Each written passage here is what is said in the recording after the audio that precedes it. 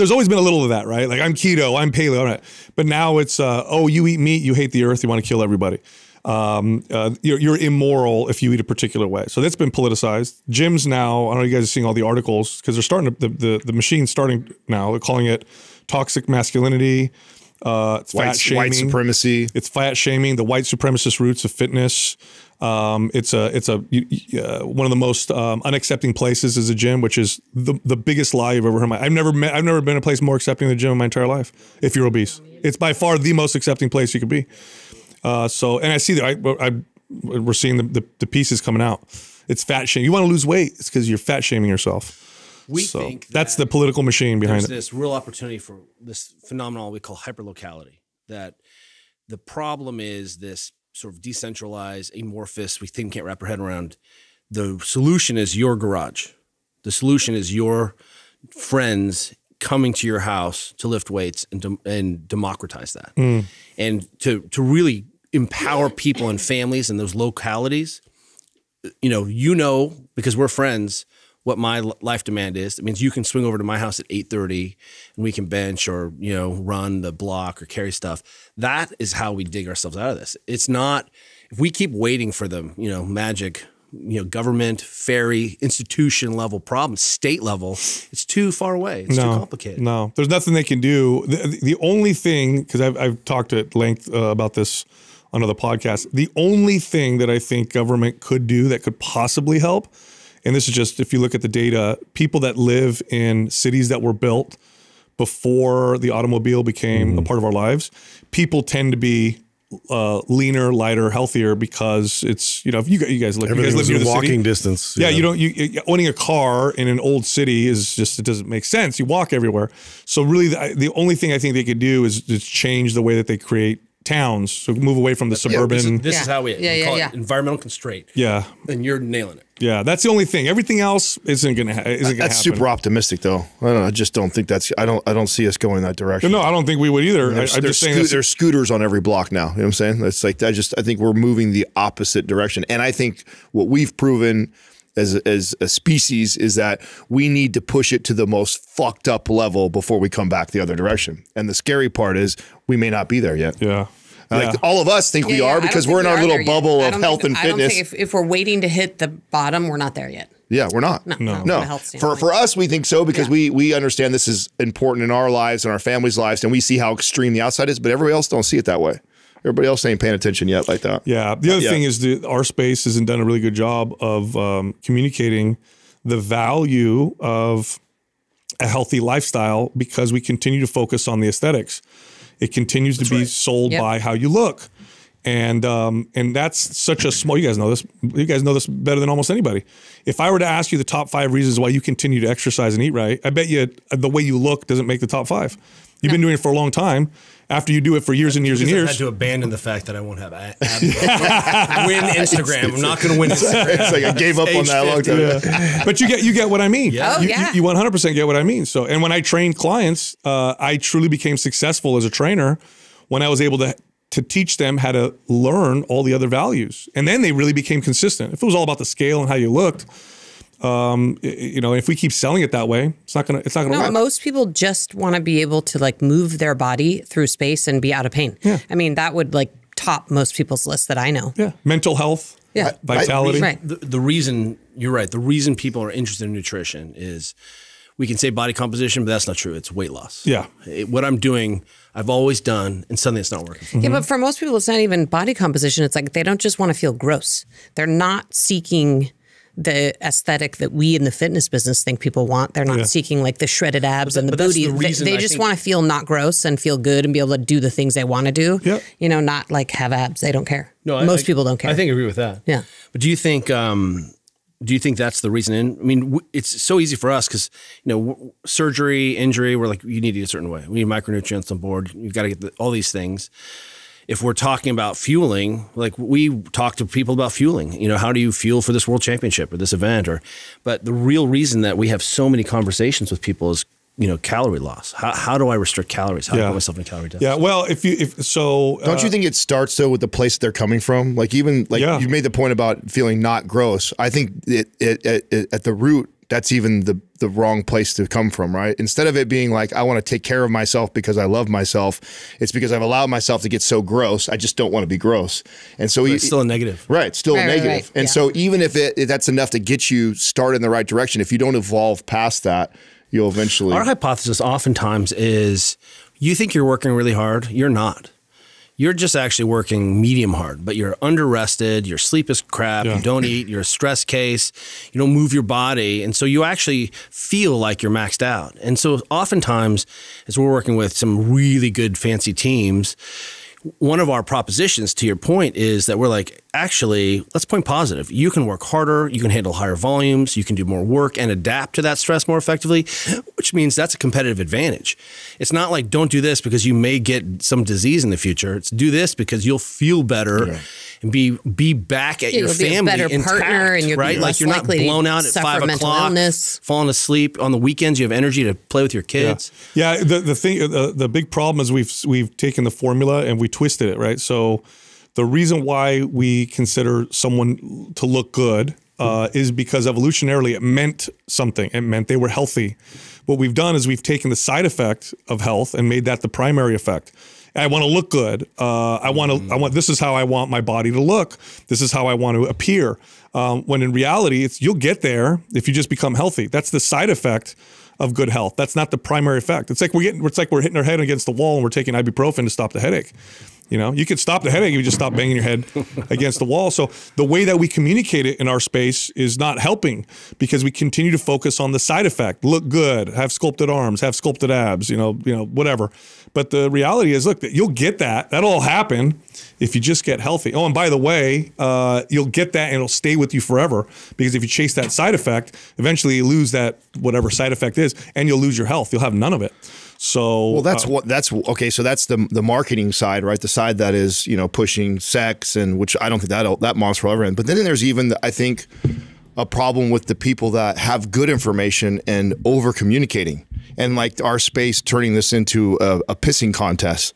You know, of who's who who's, smarter, smarter? whose Yeah. science is more, and it's like I, I think we're we're battling amongst each other and speaking to our peers. Meanwhile, we're losing the majority. Uh, that's like they just need some basic information to move them in the right direction. And here we all are as the leaders in the space fighting over whose dogma is more right. And it's like, man, that's we're losing so many people that Yeah, way. you want to know what's interesting? One of the most effective things I ever said that I still say, I'll uh, say it now on the show that I figured out as a trainer after 10 years. Okay. How to get people to train with the right intensity, how to get people to train properly. I'm talking about the average person, right? So not, not high level athletes is uh, I would, I, I realized that uh, strength training is a skill. And so I said, you know what? Just go to the gym and practice getting better at the skill of squatting. Practice getting better at the skill of pressing and rowing. Don't worry about hammering your legs. Don't worry about blasting your shoulders. Just get good at these skills. And lo and behold, my clients were training with the proper intensity. Their form was always good. They were always focused on getting better at the skill, and their bodies responded phenomenally versus the whole you know, you got to feel it here, make yourself sore, get blasted, get sore, uh, you know, get sweaty or whatever. That small little thing right there made such a big difference. Nobody communicates it that way. You guys are smiling because you know exactly what I'm talking about. Yeah, yeah. That's, we're like, we're like, yep. yeah, that's that's the key right there. So we uh more and more two things so i think one is that we appreciate that the glacial pace is the breakneck pace it is so hard to make change second is we we want to own what is our part of the confusion? What part did we create? How are we contributing to this this chaos? And then how do we get with our friends to sort of say okay okay okay uh, you know not mutually assured destruction but like we've got to reach back. You know, I, I was just talking to someone the other day about. I mean, do you really want to jam back in at the trough? Like we're all in the trough. Like here's this fitness pie, right? And I'm like, uh, there's all these open fields and there's just gold bars laying on the ground. Why don't we bring people in? How do we do that? Yeah. And how do we take fitness and not just abandon the experiment? Because it has been 15 years. You guys, eight years Yeah. in. Think about how the thing that you said was just so reasonable. Yeah. Strength training is a skill. Why don't we treat this as a skill? Yeah. A really, you know, durable and transient skill. You know, the first time I realized what you just said, uh, so we were all part of uh, 24 Hour Fitness during its heyday of growth, uh, late 90s, early 2000s, right? They kind of were the, you know, there were other companies I think that that that started they were the writing first one to reach a billion dollars. Yeah, but they were the first ones to really show how you build a business, I guess, around uh, around fitness. So we were we were around that, and I remember looking at statistics of members. There was like a, a of, of you know the kind of members you would get, and they would. The average member would sign up at one place and then they'd go to another place, and so you ended up fighting fighting for the same members. But there was this like chunk of the population that never worked out, never went to gyms. And then a company, and you guys remember uh, this company, um, came out. It was uh, uh, the, the the circuit training one for women only. Curves. Curves. Curves comes out. Okay. Pneumatic shitty equipment. There's like six pieces of equipment in a circle. And Curves comes out and explodes. Now, it obviously tanked because a bunch of non fitness people ended up buying the franchises and we don't have to go into business, but they exploded. And I remember seeing that and going, you know what they did? They just tapped into people that all of us couldn't touch. They literally tapped into a percentage of the population that wasn't interested, that wasn't being communicated to, that felt uncomfortable for whatever reason. And then Curves comes out and says, "Hey, you know, come in here. We're cool. We'll let you Planet do Fitness whatever." is the same right, thing. right. It's super And Planet- accessible. Planet Fitness did the same you can thing. feel comfortable in here. They did. Yeah. Yeah. So whatever they're doing wrong, I, fine. But one thing they did right is they got. That's what, I mean, they going got back people's to your attention and got them in your, there. your trough analogy, that's the biggest problem with That's our it. space. I mean, we saw that when we came in. When we came in, and we looked at the the, the leaders in our space and in the podcasting and social media. They're all communicating to their peers. And I when I we all look back at the 20 years of training clients and we go like that like none of my clients would even be drawn to any of that information or want to listen to any of that stuff. It's like we're we're so worried about what my my peers are going to think about uh, you know how I communicate something like oh he's not very smart he's saying so we're so concerned about what the rest of us so that are all in this room think of each other versus really trying to go help the people that aren't even motivated to get out and take a fucking walk. You know, so it's like, Yeah, I mean, we've done such a good job of like making our little, you know, what I always like to say is like we're all in this little vertical and we've made each other way better. I Yes. mean, walk in the door and it's like your gym looks like our gym and we all have a cold plunge and a sauna and we take the right supplements and you know we we're always like adapting our training to whatever the latest thing is and we're jacked and we're tan and you know like we've done it Not tan all. enough, and I even enough. look back to when I was a college athlete and professional athlete and I'm like, man, if I knew then what I knew what I know now and could have applied that to my like 22 year old body, like man, sky would have been the limit.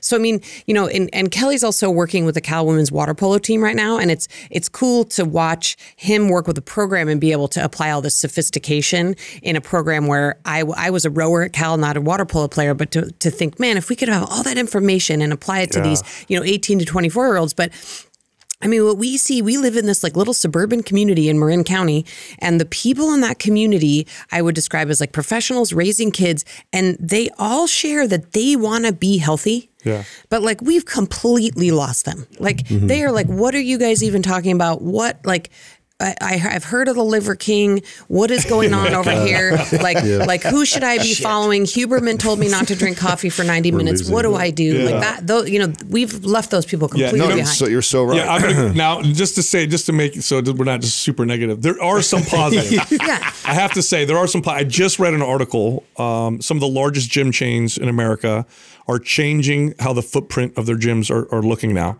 They're they're investing less in the cardio areas and putting more and more in the free weight areas, which is phenomenal. You guys know, I mean, gyms. When, when I was running gyms, like all the money went to the cardio. They had a little tiny free weight area, one squat rack, and a forty thousand square foot, you know, square foot gym had dust on it.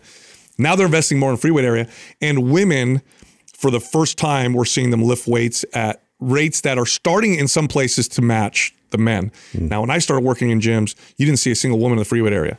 Now you're starting to see women lift weights. So those are two positives. so not I to want be to say so that not Yeah. to be the turd in the punch bowl, but you know, Comma. Yeah, back to her point though, uh, we, you're the, that all that is is the market is responding to the small percentage of people that already come to gyms. The people that all come to the gyms and work out are saying, "Hey, we want more squat racks. Hey, we want a functional area now." It's a change. and it's still we're You're- still missing the fucking ninety you're right. we're percent. getting there. Yeah. We'll get there. yeah, the slow blade penetrates the shield, right? Like Yeah. it, it takes a minute to see all that. You know, we still feel like I've spoken on every continent except Antarctica, and turns out, Is that true? yeah, Wow. turns out everyone knows what a push up is. yeah. Everyone. I was in Russia before they invaded Ukraine. Like the, the three months before, I went out to work with some strength coaches. This incredible strength coach community, incredible. And everyone we could brag about deadlifting. Deadlift- We had this universal language of food, nutrition, of recovery, of you know, Yeah. of training, and that's a universal language. It's the only like math is not a universal language.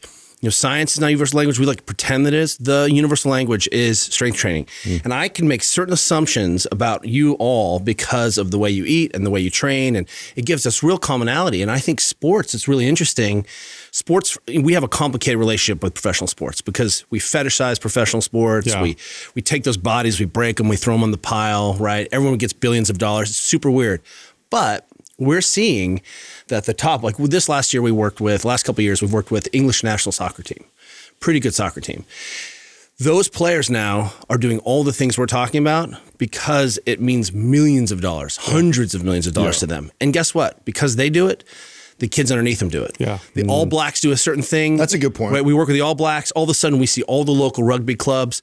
All of them do this. So it is a way for us to be sneaky and filter down. It's just gonna we're gonna miss a lot of people in the Yeah, there's been some positive changes for sure. Uh, I, I, I'm I'm not that old, but I remember when strength training wasn't even recommended for certain sports. Made you made you stiff. That's what they said. Well, made right, you muscle bananas, bound, right? right? Muscle bound, yeah. Yeah, it was crazy. Now find me a single sport No. that doesn't utilize strength training. You can't. Well, you can't find it. Yeah, f- I mean, for me, it just like going back to the value of sports, and especially with children. Like I, what I've noticed is the biggest deficit I've ever seen in kids enrolling for sports. You know, post pandemic or even like going into the pandemic. And uh, for me, that that to me is is a signal that you know we really need to put a lot more effort into the the emphasis on like getting kids to move and, and really building that uh, you know at that level for for us to make any kind of movement and change going forward. There used to be this whole uh, idea, and so talking about government and Yeah. like coming in of, of like presidential sort of standards, and like this was like a whole uh, a cultural kind of movement of like, hey, we all need to like pay attention to this and like have some kind of standardization here for you know kids to learn about uh, how to move and how to like apply fitness in their life. And I just feel like that's just been removed from the culture. They culture. did remove that, didn't they? It's not anymore. an emphasis. Like it's just really not something that uh, is is talked about very. Yeah, they cha- they changed the standards for things like the mile and pull ups and push ups. Well, and so many schools don't even have PE at all. No. I mean, Yeah, like, se- separate apart it. from the president's physical fitness test, which I used to crush the flex flexed arm hang. yeah. By the way, do you guys remember that? I do. Oh, yeah. Flexed Have arm you Sit met and my reach three-time all day, world champion Yeah, sit and wife who I was still like, has abs I was like, flex 50s? arm hang. but anyway, but yeah, I mean, there's not even PE in California No, public schools, no, like unless the parents pay for it. And fitness isn't even the right word. Like, what is it that's required for a, a healthy population? The presidential physical fitness test came about because the the president at the time was like, "Holy crap, we're not ready to go to war, and we have this looming war with the Russians, so we better do something." So I think we can expand that and just say, "Hey, if eh, all kids have to go to school." Then aren't we responsible for teaching fundamentals to kids in those places? How to eat, how to cook, how to like self-soothe. Well, this is how what to I, strength train. I love yoga. about your guys' is you know expanding the vital signs concept. I think that's a, a brilliant approach to um, teaching the younger generation. Like it's more than just you know coming in and getting. What do your we need to pay pressure attention to? checked. Yeah. yeah, that, and I think that's a, a, a big area that we're missing. So All right, today's workout program giveaway, Maps Anabolic. Here's how you can win that program. Leave a comment below this video in the first 24 hours that we drop it here on YouTube. Also, subscribe to this channel and turn on notifications. If you do all those things and you win, we'll let you know in the comment section. Also, there's only two days left for the Time Crunch Maps program bundle. Here's what that bundle includes Maps 15 Minutes, Maps Anywhere, Maps Prime, and the ebook Eat for Performance. All of them together in this bundle, discounted over $200 off. So the total price, the total price for all of this is only $99.99. If you're interested, act now. Again, there's only two days left. Just click on the link at the top of the description below. All right, here comes the show. let's Yes. talk about um, how you guys have expanded uh, what you know your the quote unquote vital signs are that the, the doctor normally uh, checks when Yeah, you talk about what motivated you to write your this your latest book and kind of what it's about. I'll, I'll start on the vital signs thing. I mean, we, I think, saw in the pandemic that everybody we knew was not just tracking their blood pressure, but all these other like high tech metrics like SAO2 and, and, you know, they were able to track all these more technical things with trackers and respiration rate and was high. respiration rate and, you know, tra- you know, tracking their whoop to see if they were about to get COVID.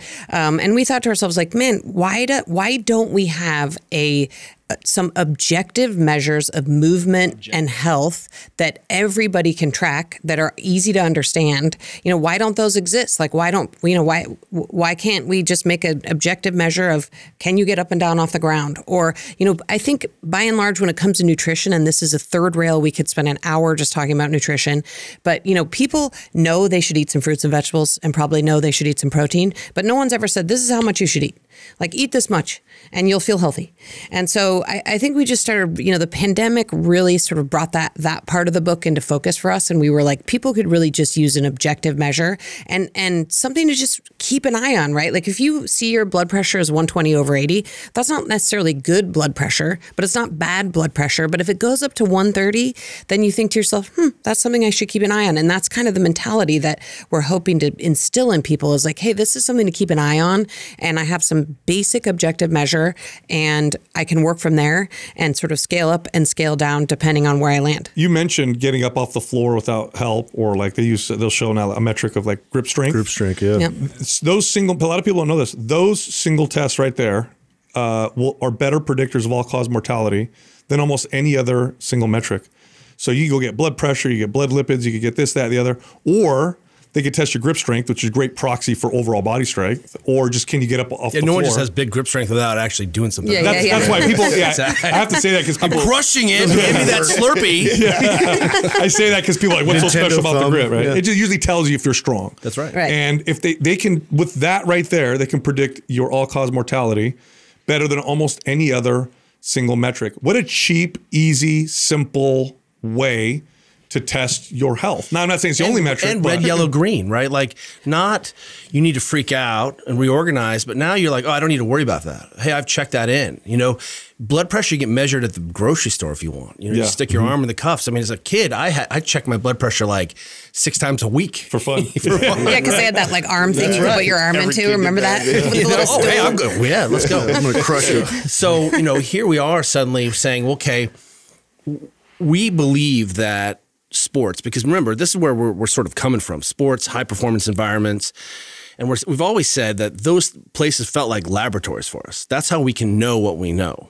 And that we can actually see people under the most stress and the gnarliest conditions and how can we tweak that? And once again sports shows us about nutrition. Like i think a lot of this whole food nutrition people coming back around has come out of athletes and teams and and you know sports stars eating better and influencing backwards. I think that we can't we can't diminish that enough. But if that's really the truth, then we should be able to say, hey, look, what are the best practices and how do we apply that in your crazy life? Because these athletes, you know, I just got a text from a superstar who's sleep deprived in Portugal, trying to get his clock turned around so he can win another world championship. Right? That's this morning. He's like, what else can I do? You know, like, and wow, I think I can take those lessons from this guy and be like, hey, I know you have to be on a red eye, but I want you to come back intact to your family. So, where are the places where we can lean into some of these things and actually apply those lessons to the rest of us? That makes sport the greatest living laboratory of a common language on the planet. That's a great. That's a wonderful uh, way of explaining that. So let's let's stick to that for a second. So a lot of people don't realize they're jet lagged every Monday because they they they they, they That's wake up and go to that's bed. great. They wake up and go to bed at the same time. Then come Friday night, say I'm gonna go to bed late. I'll sleep in. I'll go to bed late, sleep in. Monday comes around. They're jet lagged. They don't realize why people have such a tough time waking up on Monday. What are some of those things they can do, Dude. that can help them, you know, bounce back? That that's like um, that just blew my mind. The jet lag on Monday reference. I was like, oh my god, I'm gonna, st- I'm, I have right? to steal that. Like that's so good. at least three times. Yeah, Yeah, like no that's amazing. Sure so I was like, I was like, whoa, I've never heard that, and that's the best way of putting it. Yeah. So, Yeah. so it's- besides going to bed and waking up at the same time every day, which would be the old, I mean, that's what you're supposed, that's the best thing to do. What are some things someone can do come Monday when How, how about flip this on its head and start to say, what are the things that we know to be true about feeling the best, and more importantly, expression of the best, not this subjective. Like we, we believe in this idea that if athletes feel better, they tend to perform better, right? You know, like I believe Sounds that I feel better, right? That you know, I have Even good if it's placebo, it doesn't feel love, matter. or belief effects, right? Yeah. Not even placebo. And so we can start with that. And we can also say, well, what are the objective measures? You know, like supple leopard is a good example of range of motion, not really debatable. Like everyone agrees that your shoulder should do a certain amount of things. Mm-hmm. And then the the expression of that was biomotor output. The reason we gave a crap about your range of motion is that we could, thought you could bench more and squat more and mm-hmm. run more and play more, right? That's the expression. So, what are the behaviors that allow you to have these objective measures Yeah. outcome? And it turns out that when you do that, you end up backing into the exact same things that we're talking about. What can I do? Well, did you get more or less than seven hours of sleep? So, seven hours of sleep, for example, is this objective measure. That means that's survival. If you're just trying to deal, that's survival. And seven hours we find to be the that that line in the sand. If you're trying to change your body composition, grow, learn, Build muscle. build muscle, that's eight hours. And what we've learned from all these tracking devices is that you might need to be in bed for nine hours to get eight hours of sleep. Mm. So what you can do, first of all, is doesn't matter what crazy thing you're doing on the weekend, can you protect this window of first principles? And those first principles are well, did you eat fruits and vegetables? Did you move your body? You know, and what we find is that that idea on the weekend, waking up, you know, jet lagged, that's having kids. That's a deadline. That's going to happen to you a lot. And it turns out you're super durable and can buffer that. You're just going to suck at work. You're going to suck in your family and you can you can buffer that for a few times. The the key here is running the best you can every day with these key principles. And it turns out you'll have enough kind of capacity to be in a better situation on Monday. So that if you decide to have a drink, good for you. It's your weekend. It's totally your thing with your rested, but know that's going to mess up your sleep. What do you think the threshold of of that is? Where where does it become chronic and bad for you, and where is it where is it okay? Allowing that kind of stress, right? The kids or the I didn't get very good sleep, so I, I next day I hop up. There's obviously an amount of that that is, uh, and uh, our friend Dr. Andy Galpin talks about this. Uh, you know, there's some benefits to being able to be resilient enough to handle that. Like, oh, I only had four nights of sleep, yet I still got up, I did the things. At what point do you tip over to where that's so bad and negative and chronic. I mean, there's got to be a part of it that's okay or tolerable, and then there's got to be a line where it becomes Yeah, I mean, I- I would just say I, I don't know if we have a way to quantify that, but I think one of the lenses through which we wrote this book is like we are. Um, we're not the fitness people who are spending four hours on the weekend meal prepping and you know getting up and spending three hours journaling and taking care of ourselves. Like kids. like we have kids. Like our mornings revolve around getting up early and getting kids off to school, and we spend the vast majority of our day sitting in front of a computer. Um, we have to travel a lot for work, so we get we get crunched from a sleep standpoint. Um, and so we really tried to write this book from that lens um, of like, hey, we're we're not we're not over here just taking care of our bodies 24 hours a day. Like we're actually in it like you guys are. And we're trying to figure out what strategies can actually work in a time crunch life. And so I, I don't know if I'd be able to quantify like when it's tipped too far. But I mean, I think the way we've approached it in our life is realizing that we are going to have those stressors. I think if you have a newborn, like the first year of your kid's life, like all bets are off. Like you just do literally whatever you can in that first year of your kid's life, and like good luck to you. Yeah. Um, you know, just work around the edges. Like when our kids were little, Kelly invented this workout called the 10 10 10 at 10. And it was 10 squats, air squats, 10 push ups, 10 pull ups for 10 minutes at 10 p.m. Crushing it. Because that was what we were able to fit in with like two little kids in our house, right? Like, like Elite. you know, um, but, but I mean, I I think didn't what we're, all the way down. what we're trying to teach people is to say, okay, everybody's going to go through these periods of travel and stress, and there are ways to minimize to minimize it in the moment. And then when you get back home and you can control your environment more, like that's when you have to be extra on controlling your environment, which is why we created this whole 24 hour duty cycle concept. You know, when you're home, you can control the things you can control. When you're traveling, you can control the things you can control, but those things are different. What are some of the biggest things that you uh, you guys have seen with some? Because you guys have trained some incredible athletes, and like I, you made you guys really made a great example of how it's such a it's such a great lens to look through how we could apply things to the general population. Because you're dealing with people where you can make small tweaks and you can see performance outputs. Uh, That's right. Objective We can performance see outputs. inputs and outputs. Right. So, what are some of the like when you get a, a high level athlete? First off, they're not coming to you never having been trained, never having worked with anybody. They're already high level. So it's harder for people who don't know this as trainers. Some of the hardest people to train or work with are people at that level because, I mean, you're already kicking ass. Like, okay, what else can I do? Right. Right? It's just like the, little dial turns. Yeah, it's like it's like Yeah. level. It's like number one, don't screw them up, right? Right. And number two, what is there what else can commonalities or are they all so unique? Yeah, what are some of the big things that you guys have seen? you know, is we're we're invited in sometimes to help with a certain specific problem. Like English national soccer team, their strength and conditioning coach, Dr. Ben Rosenblatt, is a G. He is just a super badass, very sophisticated, but he wanted better solutions for the athletes to care for themselves when they're away from the club. So we help them with that piece, right?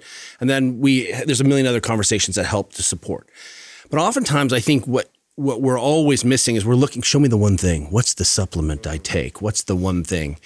And By the way, so quick side story: the number one thing that like causes Kelly to lose his mind, and people ask him this question the all one the time, is The they're one like, Kelly Starrett, what is the one stretch I should do? Give me the magic stretch. And like, it's like I just sit there as like a viewer of his like, and he literally like like red starts to come up. You got to have then- like a terrible then- generic answer. And then for his like you Yeah, his you head starts like he starts doing like a str- side twitch, you know, and like he's trying to figure out how he can like both be nice Voodoo and then like floss your whole crush the body, person. snatch. So anyway, sorry, I What's the best took fat your burning train of food? thought. Yeah, yeah, yeah. exactly, exactly. Uh, I think that's a trainer. That, that was the word. What is the best exercise for your The bicep? one, exercise. Yeah, what is the one, one? thing The I one. can do. Yeah. it's difficult for us always thinking in this systems approach. So you know what, what's what's less important or more important, your sleep or your nutrition or quality of your movement or your belief or the team that you're with or the people or like which one of those things you want to write off? Yeah. you know. So as we come in, we're always taking this systems approach, and what you can actually see in the book, for example, is that we sort of divide things. We have some movement behaviors that we think we should be putting on your radar. Your ability to flex your hip aka get up and down off the ground or squat. Your ability to extend your hip, like lunge or walk or run. These are fun, fundamental things that maybe you can't know how they impact how your back hurts or potentially how your knees hurt after you run or stand. And so what we're we need to just put them on people's radars first. This is important because you're going to use these things. So as we as we come in and try to untangle these things, we do also have these conversations about making sure that we're covering the basis, the basics, and that might be fueling. You know, we have I've worked into enough teams where I'm like, hey, this is super sophisticated, but that athlete didn't eat breakfast. And then she trained in the weight room for an hour, had 30 minutes to get to the pool, did two hours of elite training, and still hasn't eaten a calorie. So who What are cares? even what are we about? talking about? this is all bullshit until that athlete eats. So now we get to the question is, well, why doesn't the athlete? eat? Does she not know she needs to eat?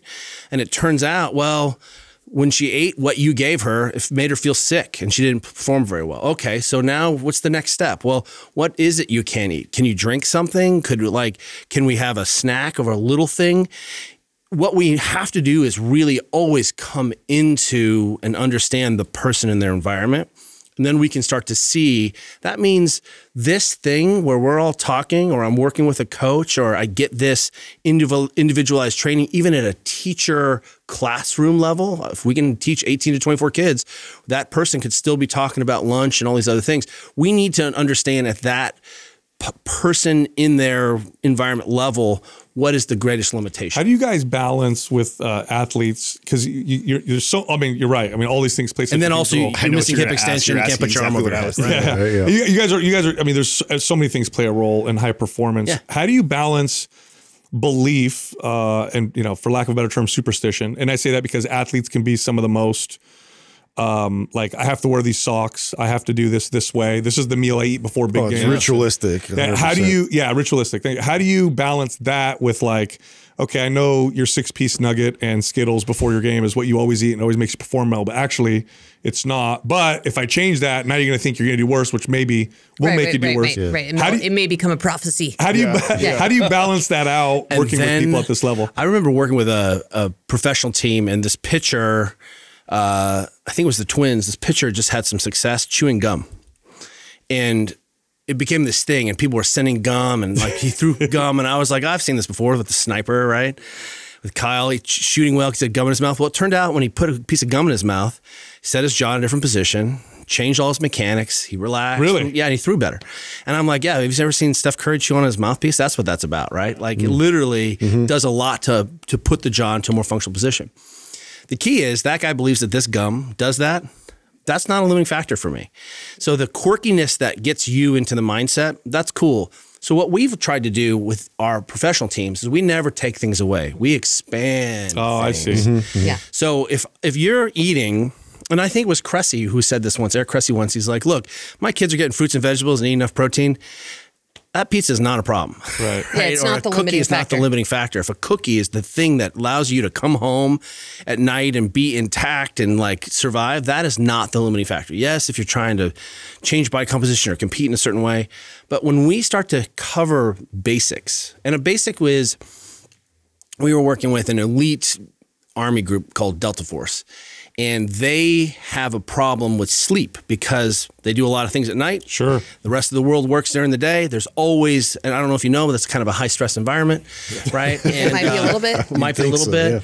Can't always control what you're eating. You can't always get your meal prepped meal, right? You're eating, and so what they found was, hey, how do we expand? So if guys had sleep dis problems or dis- dysfunctional sleep, the first thing they did was gave them twelve to fifteen thousand steps. So that's their sophisticated. We have access to all the technology in the strategy. world.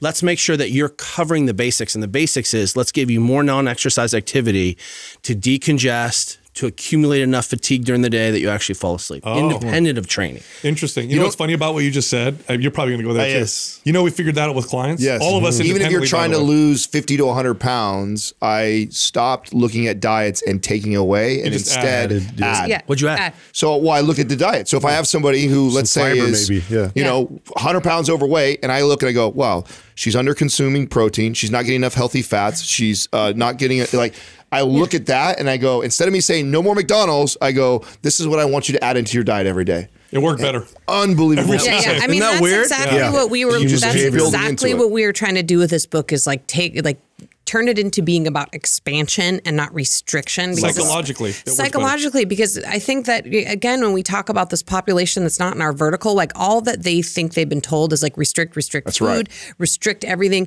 restrict fun. You know, I mean, I think this often means for people like you know, most people I know still want to be able to like go out to a restaurant with their friends or have a glass of wine every so often. And if you're like stop doing all that, there's that's the only path to being healthy. They're just going to be like peace out, Yeah. not interested. You know why I like talking with people like you guys because you you worked with people in the real world for so long that it's not just about what the data and the science says. You've learned how to work with the most important factor, which is human psychology and behavior. Which so the most important factor. Let's Yeah. circle that. Yes. Yeah, and, like and exclamation highlight point. it and say that any intervention you have going forward, if you're listening to this, has to be done through the lens of behavior modification and behavior change. Yes. Mm-hmm. That is the thing. And Yes. if you're not looking at, if you're thinking just as another set on the, you know, or some velocity, you're missing it all. Yeah, yeah, yeah, yeah. The, the, the, if we were robots, it would work great. Just oh, put, put in so some good. inputs. yeah, yeah, Give me the pellet. I'll eat the pellet. yeah, yeah, yeah. The mush, just eat the mush, and you'll be fine. That's it. So back to the the athletes. What's the what's the thing that you see? Not the the magic bullet or anything like that, but what's the more most common challenge that you see with athletes where you go, okay, this is something that we can almost reliably see among all these these people. Typically, is it sleep? Is it diet? I mean, I'm guessing here. What, are, are there commonalities that you tend to see?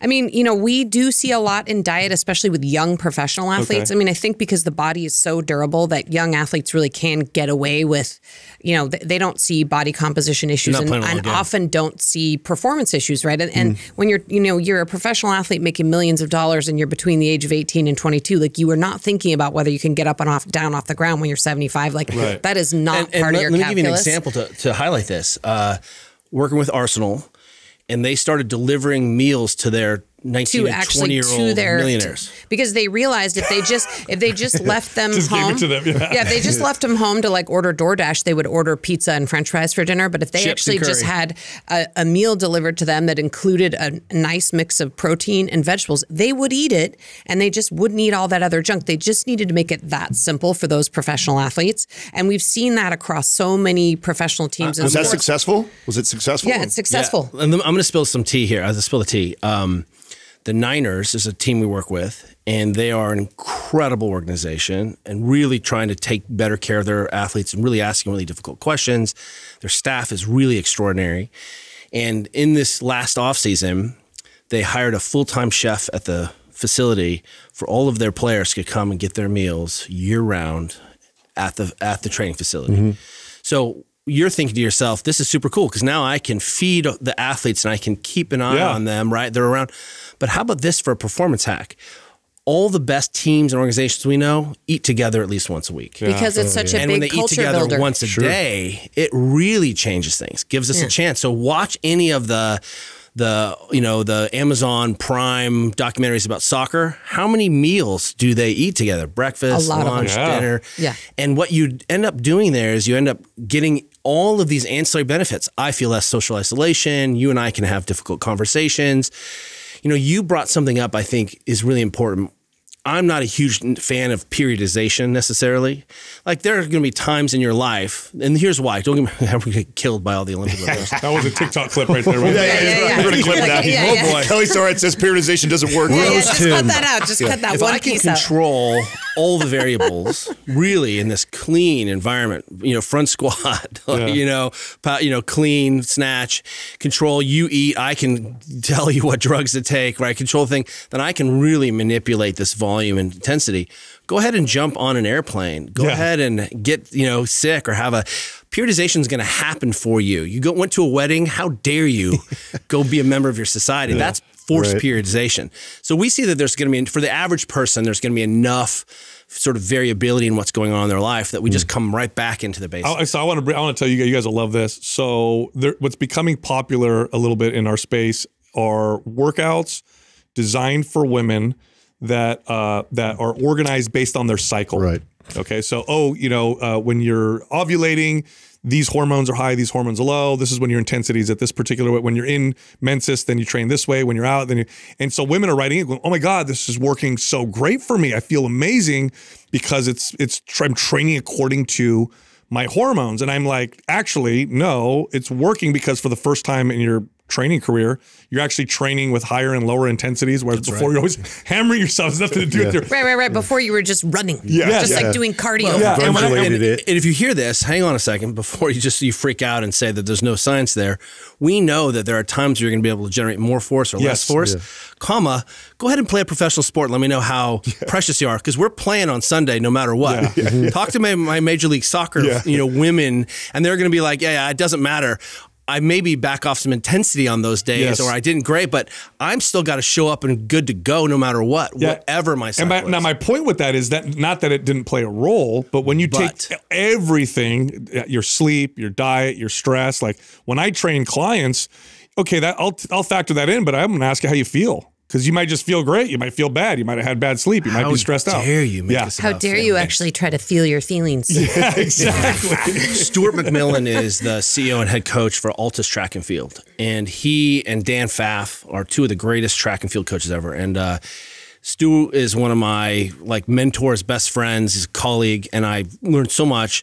One of their assessments is how the athlete walks into the track. Yeah. Do they hop over the fence or do they walk around the fence? Wow. the fence is like a foot and a half high. And I bet he doesn't let them know either. He just No, watches. he just observes. He just observes them. awesome. And exactly what you're so saying cool. is so important. How do you feel today? I'm feeling a little smoked. You know, we were Juliet is a, a three-time world champion whitewater paddler. I used to do a lot of racing. We would get to a big rapid, a big class five rapid, and we made this decision. We're going to see how we feel when we get there. Always like, are you going to run the rapid? Are you going to run the shit today? And we would say to ourselves, let's let's decide when we get there because you could be having a, crap day. You get there and you've already decided, but you feel great. Yeah. And you've already decided. And, or you could be thinking, today's the day I'm doing it. And then you get there and you suck. And you're like, I, you know. So we started making the decision how do I feel when I get there? And mm-hmm. a lot of the subjective training, I've talked to Mike Burgener, who is like my Olympic lifting sensei, and he has had athletes PR on like heavy squats. And he's an Olympic lifting coach at the end of a session Yeah. when they're their most smoked. It hmm. doesn't make sense, but all the the frying pan's hot. Let's cook. And so the thing you said, how do I feel today? Let me start moving and start to get to know myself, and then I'll make some different How do you And the thing- navigate around HI or HIV, HRV training? Oh yeah. Uh, you know, in terms of like this new technology that people are paying attention to, and like, are you applying this with athletes? Is it valuable? Is it just something that's kind of like data points that uh, Data you know, points. you're Well, well, I would say for us, our, the most revolutionary thing that's happened in our own training is once we turn 40, we actually were able to tap into this thing we've been talking about, which is feelings. and and more than any other device or anything, we actually have been able to ask ourselves now that we're old and mature is what is my desire to train?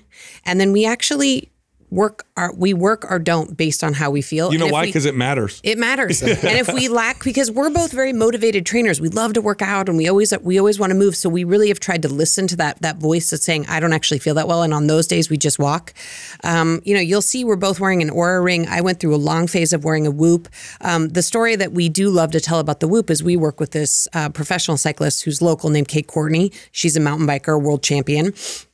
And the morning that she won one of our world and a championships, complete athlete. Like, complete one of the athlete most complete athletes I've ever seen. she is total complete amazing athlete and and she she's like an example by the way of everything that's positive that's happened in the health and fitness business and and and in terms of like optimization and you know turning making professional athletes better like she is the epitome of that but she woke up on the morning of her world championship and she had like a 12 in terms of her um recovery score on her whoop, like deep red, like the worst red you can get. And she actually had the wherewithal to be like, that's actually incorrect. That's not how feel I feel. I feel great. She went out, destroyed everybody, won a world championship that day, and then she called Whoop and said, "Hey, your algorithm's wrong." and and Whoop was like, "No, it's not."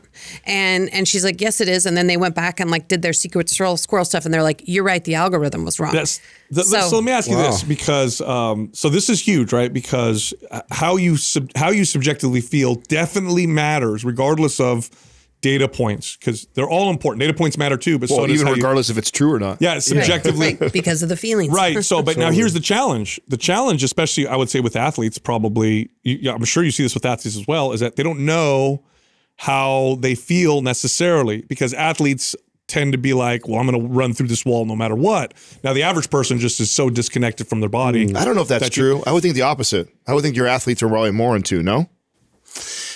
We're seeing a generation of athletes for sure, and people who are who are getting more in tune. So, like the early Omegawave came out was like the first HRV, and I I experimented this. I'm I'm training Wait, wait, to. wait, Can I tell the story? I'm training from Molokai, which is like this open ocean channel racing. It's like a big 50k open ocean. path. That's what I'm training for. Remember, I'm a middle aged bro. I'm like I'm not going to be fast. Okay, so ahead. we have like a we have like a wanted to set the table. We have like a s- like a six year old and a three year old at this time, and so you guys know like the mornings are kind of crazy, and Yeah. you know we both work, so we've got to get our kids like fed and lunched and dressed, and you know they're still at that phase where like we have to tie their shoe. You know, it's like high maintenance mornings. You know, there's no like Not for me. taking care of Kelly and Juliet mornings. So Kelly gets this like early iteration HR heart rate variability device, and he the the way that it worked is he had to wake up, be up and standing around for 15 minutes, and then he had to go back and lay in bed for 30 minutes and No, attach all these like nodes to like his 27 body. minutes. 27 minutes. He attached all these nodes to his body and then just go lay there quietly. And if like anyone disrupted him, it would it would mess up his data. and finally, I was like, finally, I was like, I was like, that thing's going in the garbage. Like you need to show up as a dad. I'd be like, don't talk to me. You're resetting the data. He's like, he's like, he's like, no, Georgia, I can't tie your shoe. I'm dragging my heart rate very. So I mean, we were like, that thing's out. So I mean, obviously, it's evolved so much to the point where you can just have this like passive ring on your hand. But you know, I mean, I think the things that we use it for is sleep. Like we really do think these seven and eight hour minimums are like that's a real deal. Mm-hmm. And so we, you know, people. One of the things, like the most important things that we've learned from tracking our stuff is that you actually need to be laying in bed for a full hour longer than you're actually trying to get sleep, right? Because we lose and everybody naturally loses, loses almost an hour of sleep just by waking up and getting up to go to the bathroom and and and these little wake cycles that we're not even aware of as we woken up. And so that was that really transformed our own behavior because we realized if we want to get eight hours of sleep, we need to be laying there for nine hours. So that was a big, you know, that was a big piece of data we got thanks to having a device like this and super helpful. But what we say to people is like, you know, they're like, oh yeah, I'm getting eight hours of sleep, and we're like, prove it because you can. You know, it's really accessible now. Like, show us. Are you getting eight hours of sleep? especially when you know we came out of remember originally a physical therapist right which is sort of this arcane study of pain and low level exercise that's really what physical therapy is It's like a lot of banded. Yeah there's a lot of stuff like that and um, i think physical therapy has an immense possibility but currently it's not living up to what i think what we're seeing is really good coaches and performance coaches can just have just taken over a big chunk of physical therapy but one of the things that we're we're seeing is I started caring about sleep and chronic pain and persistent pain, and I started seeing this association because I noticed in high performance that if you didn't sleep, you didn't do really well. You you started to outpace me in the gym because you were getting an extra half hour an hour of sleep. So we started to see that that mattered in terms of this objective measurement of output that we really start to see trends. Remember, the scientific method, Sir Francis Bacon, is induction through large data sets. That's what it is. It's pattern recognition across huge amounts of data. And suddenly we're having access to these different data sets. So we get interested in sleep because we notice that our athletes don't do well if they don't sleep. No shit, right? That the research is that, man, kids who get less sleep, by the way, we used to have this rug, kids who get less sleep are more prone to injury. And guess what? We see that around finals, that the injury rates spike in high school kids when they get one an hour of sleep. heard and, that. Right? Yeah. Oh, right. So interesting. I didn't know that. on and on Yeah. and on. So we are suddenly like, well, if it's good for the goose, it's probably good for this other thing which is attached to the human being. And this subjective feeling that you have is very much attached to what's happening. So we can suddenly start to become interested in some of these other aspects, whether it's changing your body composition or winning a world championship or getting out of pain. We find that this is a, sort of a double double door that opens both ways. Yeah, so so sleep sleep's such a big deal. Um, first off, it's uh, it's considered uh, cruel and unusual punishment to in, in war. Are you saying have a baby? No, yeah, that, That's what we said when we had a baby. Fly we're to like, New wait, York? we're like, this is actual torture, like by the Geneva Convention. Yes. Oh, it's terrible. It'll Yeah. drive you. I mean, literally, I think three or four days of no sleep uh, will, like, a majority of people will start to get mental, uh, like insanity uh, symptoms and stuff. But uh, I think it's probably a big deal because if you lacked sleep for most of human evolution, for most of the time humans have been on Earth, it meant you probably couldn't find food. Or it, melt, it probably meant you weren't safe.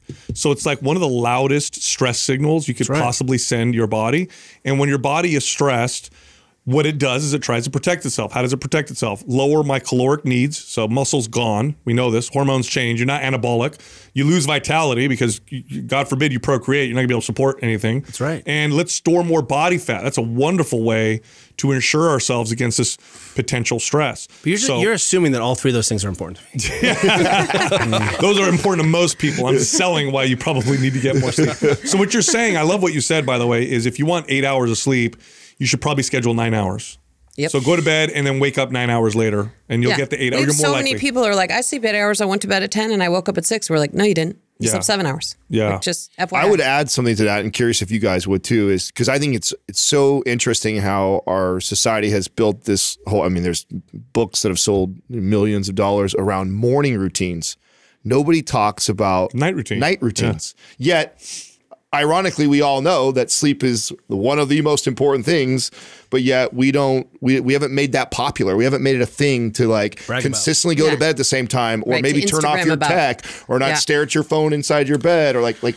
Yeah, I mean, we, you know, we mentioned it earlier, but we really are such fans of this 24 hour duty cycle. And we are fans of a morning routine, but maybe not in the way that like most tech bros are morning routine. Like we, we think that's like a great time to control some really simple things like do you eat breakfast and does it involve protein and micronutrients? Like that's kind of what a morning routine is for us. Like leave, leave the house having some good nutrients on board. Yeah. It's kind of like awesome. You won the morning routine, but man, we talk so much in our book about the evening is such an important time to control your life. And, you know, we know from data that people are watching three hours a night of TV, like on average. This is everybody. This is across cohorts, across, you know, classes. This is everybody, you know, Mando's back on.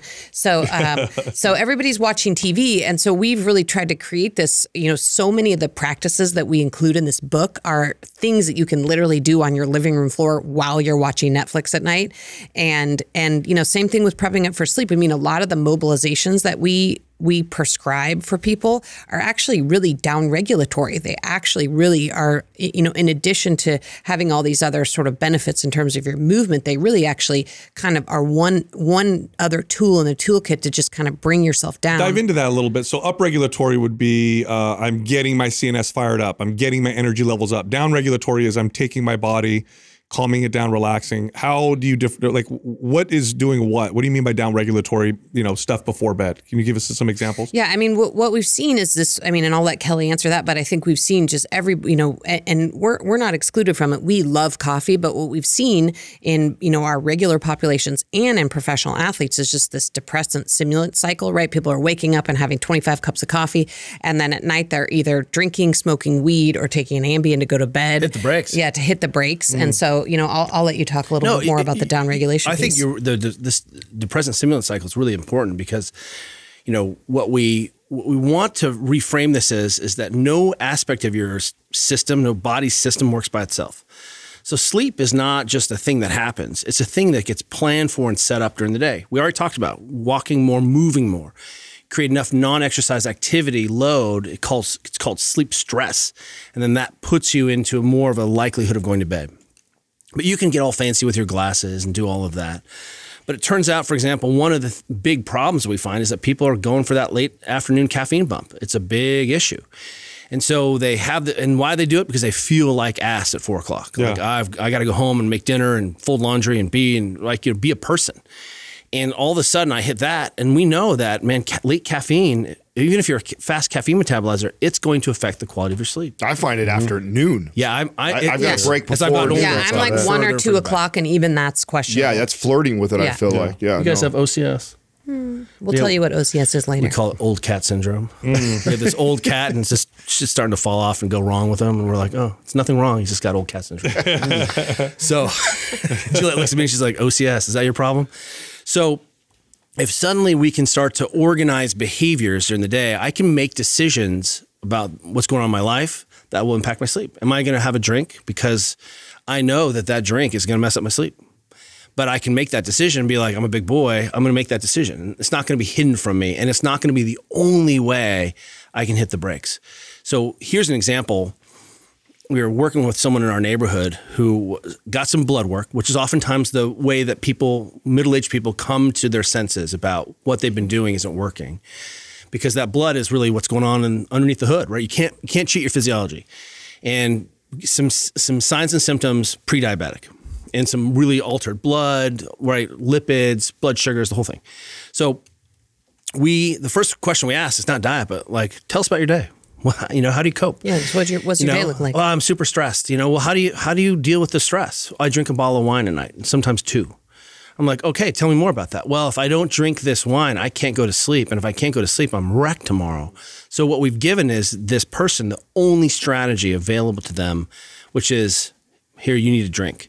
That's the that's hitting the brake. So we can't even understand what's going on with her choices and her blood work until we understand what's happening with the blood panel, until we really understand why are you so stressed and why don't you have any of these other tools. So one of the things we found is we were working with athletes trying to reduce the session cost, is what we call it. It was if you have a big heavy training day or training load or competition day, we're trying to diminish its effect on your performance the next day. We know there's going to be some degraded performance. We do something really heavy or go long.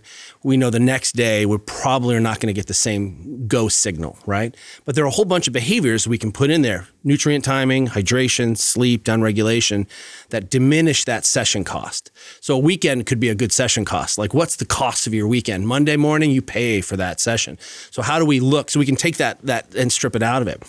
So one of the things we found was is we're working with athletes on recovery or tissue position or or pain. When we started shifting soft tissue mobilization or any of those practices or isometrics or whatever, you're going for some of those classic recovery techniques.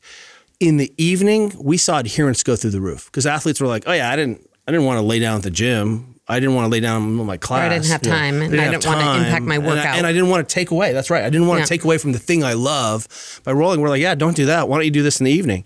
And what we found is that our athletes fell asleep faster mm. and stayed asleep longer, and they started to create a routine. And then we were like, well, if the roller's right next to the couch, then you're already sitting there like, oh, look, roller. And you didn't have to make another decision. There's that behavior that you were talking about early on. Yeah. So that's how we can begin to think. And suddenly you're like, wow, there's a whole constellation of things I do unconsciously or consciously, hey, I'm not going to have that caffeine after four that gets me to where I go. But we've seen that this, as Juliet said, wine, you know, coffee, four hour energy, Ambien, that's real. And we, Adderall and Ambien used to be the dirtiest secrets in pro sports. Hmm. You know, the, the amount of Adderall that some of our pitchers were taking in the World Series was insane, like 30 hmm. milligrams of Adderall, which is 10, 10, 10. Wow. And you know how you sleep after 30 milligrams of Adderall? Not Two that well. Ambien. and then after you've taken two Ambien, do you know how you wake up in the morning? Adderall. Yeah. And so we get caught in this cycle. And even our Tour de France cyclists even would come to off be- tour and, and have to unscrew themselves from all the sleeping pills they were taking. But I mean, that's pro- that's what professional athletes may be doing. But I mean, you just take that down to like parents in our neighborhood, right? And and they're they're doing effectively the same thing with caffeine alcohol, and you wine. know wine or weed, Mm-hmm. right? Like it's you know Xanax it's that's it's super common. So I'd love your so so what I found for myself. I'd love your opinion on this. So I found that if I do static stretching at night, so static stretching has got some, some value, not a ton. No, But tons, I- of, tons of value. Well, but I noticed that because uh, static stretching essentially tells the CNS to chill, right? If you do it right, tell, lets the muscle No lengthen. tell equipment, chill. easy to do. Right. So I noticed if I do that at night, I sleep way better. So that would be an example of kind of what you guys are talking about. And the adherence was higher because I'm watching TV, get on the floor, do some static stretching. This feels real good actually. Yeah, oh. and I mean that's something we are literally obsessed with is like how can we help people not have to make one more heroic decision to do something in their day because that's what we've seen in our sort of like regular per- person population like people maybe have that 1 hour where they want to work out and that hour is sacred to them and the rest of their day is like chaos. And they they literally cannot be really you know they cannot summon more willpower or motivation to like do extra things. And I think that's one of the reasons we've left people behind is that I think we've trained people to think if they're going to do anything for the health and fitness, it has to happen in like a one hour block, like a class, right? And so if you're going to, you know, work on your flexibility or mobility, well, if you haven't like driven to your stretch class and gone to your stretch class for an hour, and so people think, well, there's nothing I can do, right? And so we're trying to really help people say, hey, look, if you make it super easy for yourself to like pepper your whole living room with a bunch of easy tools to, you know, make it easier on that night when you just can't make one more decision to actually sit there and do a little stretching, have a mat there, have some mobility tools nearby. Like, not heroic. Just sit on the floor and roll your quads for 10 minutes. Like, you know, if you do that for 10 minutes a night, that's 70 minutes a week that you've done a little soft tissue work on your body. If you aggregate over a year, like think about how impactful that could I be. would even argue, and I would love your guys' opinion on on this. I would even argue that doing it spread out that way in small doses, uh, besides the adherence, which is a huge, I don't want to discredit, that's huge. Uh, a, a something, you know, a, a subpar workout done consistently will outperform an excellent workout done inconsistently, right? But let's just say that, that that's controlled for. Adherence is great on both ends. I've noticed with myself and with clients that breaking things up into small doses seems to produce better results anyway. And I've experimented this with myself where rather than doing 20 sets in one workout, if I have all day, I'll do five sets, two hours later, do another five sets, two hours later, do another five sets. At the end of the day, same total volume, but I felt much better and I saw better adaptations. Are you noticing anything like that with athletes where you're giving them small doses of training? Oh, yeah. and seeing, Microdosing. yeah. Yeah. And you know, and some of it I think falls into the line of, well, when are you going to get this done? So, you know, what is the best effect? Well, I need to understand how stiff are you? What are your time demands? You know, what's your training? There, there's a lot of features before I say this is better. Right. But what we see is you probably increased your total volume, your frequency, your exposure. Yeah. And theoretically, when we're talking about soft tissue or positions, we're more closely conjoining what's actually happening. Where you're like, end of the day, I'm like, what hurts? What's stiff? Oh, I see. What feels worked? And now I can and do that. Ultimately, one of the best models we've seen, again, coming back to ALTIS track and field, is that the treatment table is right next to the track. So the athlete sprints, world class sprinter, right? Gold medalist sprinter, and then they come right next to the track. How'd you feel? And then we can do some inputs, this. Yeah. and then we go do it again. And that's what we're trying to do ultimately is is you know look at everyone's day and say, well, let's tune up and tune down. And something that Juliet kind of keeps hitting, but maybe hasn't uh, we haven't you know, pulled out yet is we have this real opportunity for people to sort of get this 24 hour cycle in and play a physical practice game that isn't training because you may not have the time to go to your class today. You may only need a resistance train three times a week as a as a middle aged guy. But if I did all of these other things during the day, I actually have a pretty good set of inputs. I ate a amount, I worked on my range of motion, I walked, I slept, I dealt with my creaky knee. I, you know what I mean? Like there's so much that can happen that's independent of this exercise or this resistance training. That means if your day gets away from you or you're gnarly or you're traveling and you don't have the resources, you can still have so much input to care and feed for your body that has nothing to do with exercise. So that when it's time to get back online, you can.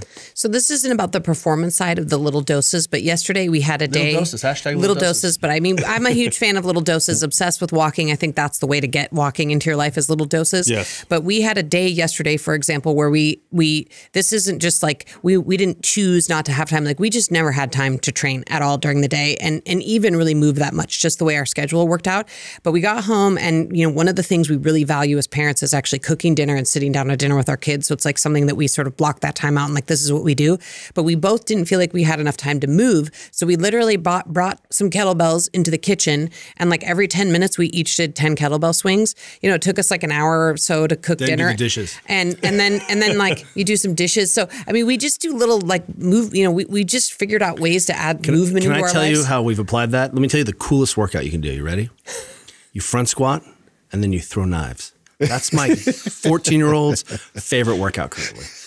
Can we go out and throw knives in front of That squat? sounds, so epic. fun. Yeah. that sounds awesome. I'm like, okay. yeah, yeah, yeah. that sounds really cool. You know how I try to sell the the mini walks? It was such a big hack. All of us in here are all married with kids. Is um, that became one of the best times for me and my wife to connect. Yes. You be if you're married with kids and you got stuff going on, like let's be honest, how often do you and your wife not talk about business, not talk about the kids, and just actually disconnect Yeah. and be with each other? Like, whoa, what a great hack! I can go do this 10, 15 minute walk, put my phone, leave my phone, and I got this one on one time with my wife. What it did for our relationship. Forget what it did for the health, which we all know the benefits of that. Right. But what it did for our relationship, which is also part of that sphere that I don't think we talk about enough too, is our relationship with our spouse, our relationship with our family, our friends. Like, what a way to kind of double hack that, right? Oh, it's the best. Like we have this little walk. We can walk from our house to the end of the block, and it's like it takes 17 minutes, and we do it often after dinner, and we'll do it all weather, like rain, shine. You know, if it's raining, we just get an umbrella. The two of us walk, no phones. We have a, t- a chance to kind of decompress, check in on how I'm we're trying to doing. control my postprandial glycosuria. whatever it is, whatever it is, and and then you know it's 1750 steps because I measured it one time. So if I'm like just trying to get over the hump of collecting enough steps for the day, I'm like, sweet, check two boxes, like important disconnected connection with my main number one person, and I walked more. Yeah, I mm-hmm. got, I, I got. That's how I got clients to do 30 minutes of walking a day. Is instead of saying walk for 30 minutes, I can't hey, do do that all 10 minutes after breakfast, lunch, right and after dinner. Yeah. and they did it every single and single you can, time. and you can sell it however you want. We're gonna help you control your blood sugar. Oh, I'm in. yeah, yeah, yeah, yeah. All right, right. Well, I it's want you to I'm- go spend 10 minutes with your wife. Oh, I'm in. yeah, yeah. you know, I always think about our friend Mark Bell, who you guys know. You know, he was 330 pounds, you know, world champion power lifter, and decided he wanted to change his body. And the first thing he did was take these little 10 minute walks. I mean, I don't know if you guys remember, he's Yeah. now training for the Boston Marathon. So those 10 minute walks seem a long time ago, but that was 10 years ago he started doing that. You know, and now he weighs like 230 pounds. And he literally just started small by taking these little 10 minute, you know, and when he started, he could barely walk 10 minutes and he would do like three 10 minute walks a day. And so I'm a huge fan of the 10 minute walk. care about. So, we worked on like this, this notion of just sedentary behaviors at work. Like we really tried to take a swing of that. We we were doing Google talks around sitting at the desk and just trying to reshape our environment. Right. We worked at our daughter's schools and we we we flipped it into the first all standing moving school in the world. Juliet realized that if she just stood and perched at her desk, didn't sit in a traditional desk, but just changed her environment, she burned 100,000 calories a year. 100, that's Yeah. what, 23 marathons? Something like that. I outweigh J Star by like 100 pounds. So I just was like, okay, let's add 70,000 calories on there. Do you know how much ice cream 170,000 calories I mean, is? talk about expansion, you guys. Dude, that means I get to eat 170,000 calories of Because ice Kelly cream. does love cookies. and I don't have to do shit to account for that. That's just in the in the balance. Yeah. And I love this idea of getting something for nothing. I want beginner gains all day Yeah. long. I want I want to be like, "Oh, I you know, I did this and my skin got better." Like I don't care what the mechanism is. Give me the results Yeah. and I'll I'll stick with it Yeah, you know why I like walking and why I hate running is because not because running's bad and walking's great necessarily, but because the average person has forgot how to run. They forgot they lost the skill how to run. Everybody Skill, stops running around at 11 years old, 12 years old. They just right. stop. So and then 30, they're like, I'm gonna start running again, and nobody goes, I need to relearn how to run. They just go run hard and right. hurt themselves. But everybody's still, and I say still because I think we're getting to WALL-E pretty soon, like the cartoon, that the animation. Soon. yep. But still, the average person knows how to walk. They at least know how to walk. That's why I like it so much because you can walk and you're probably not going to hurt yourself. But if I tell you to run, it's going to take us a year just to get you to relearn how to you run. just did something that's so savvy is that you invited everyone who doesn't identify as a runner to move their bodies. And you know, one of the things that we're always trying to tell people is like, you look, there are these these processes in your body that you cannot ignore, and one of them is your lymphatic system. Yeah. Your lymphatic system is the sewage system for your body, and you make about four to six liters of lymph every day. And that lymphatic system is carrying all the broken down proteins, all the dead cells, all the turnover that happens all the time. That's why we're eating a certain way, right? And if you don't contract your muscles, that sewage stays in your system and doesn't get pumped out through the lymphatic system, which is bootstrapped into your movement system. So look at what we've done already just in this like elite talk about walking. We've given you a reason to burn more calories, talk to your loved one, uh, fall asleep, Clear your decongest, lympha- yeah. clear your lymphatics. Like holy crap, it's Get almost vitamin D from like you Yeah. are designed. Get a little sun on your body. You're de- that's right. That's so, so. You went outside. You saw your neighbors. Like you created a civil society. Like, What's up? You're a dick, but I saw, still saw you. And if I have Dog to shit see on my you lawn. every Yeah, single yeah, yeah. day, Yeah. right? You I'm like pay for the eventually, I'm like, fence. what's I up? saw you You lurking in the window the other night. That's right. So I think what we can really start to say is what are first principles. Now, now we can have the next conversation. Well, how much walking is enough, Yeah. right? And I think you know we use this analogy you just throughout WALL-E, which is we feel Yeah, we've been we obsessed fe- with we that. obsessed that that vision. there was a local place that uh, used to have killer whales in captivity. Do you remember Tillicum? Yeah. right? The killer whale, blackfish. Well, one of our friends um, has this great concept, uh, Katy Bowman, and I call this the Bowman's orca. She points out that when you put orcas in captivity, their fins fold over, folded fin syndrome. They're like, oh, it's folded fin. And what ends up happening is you've changed the fundamental behaviors of the orca. The orca doesn't height, uh, fight, hunt, swim, play. Doesn't do orca shit. It just kind of hangs out the surface.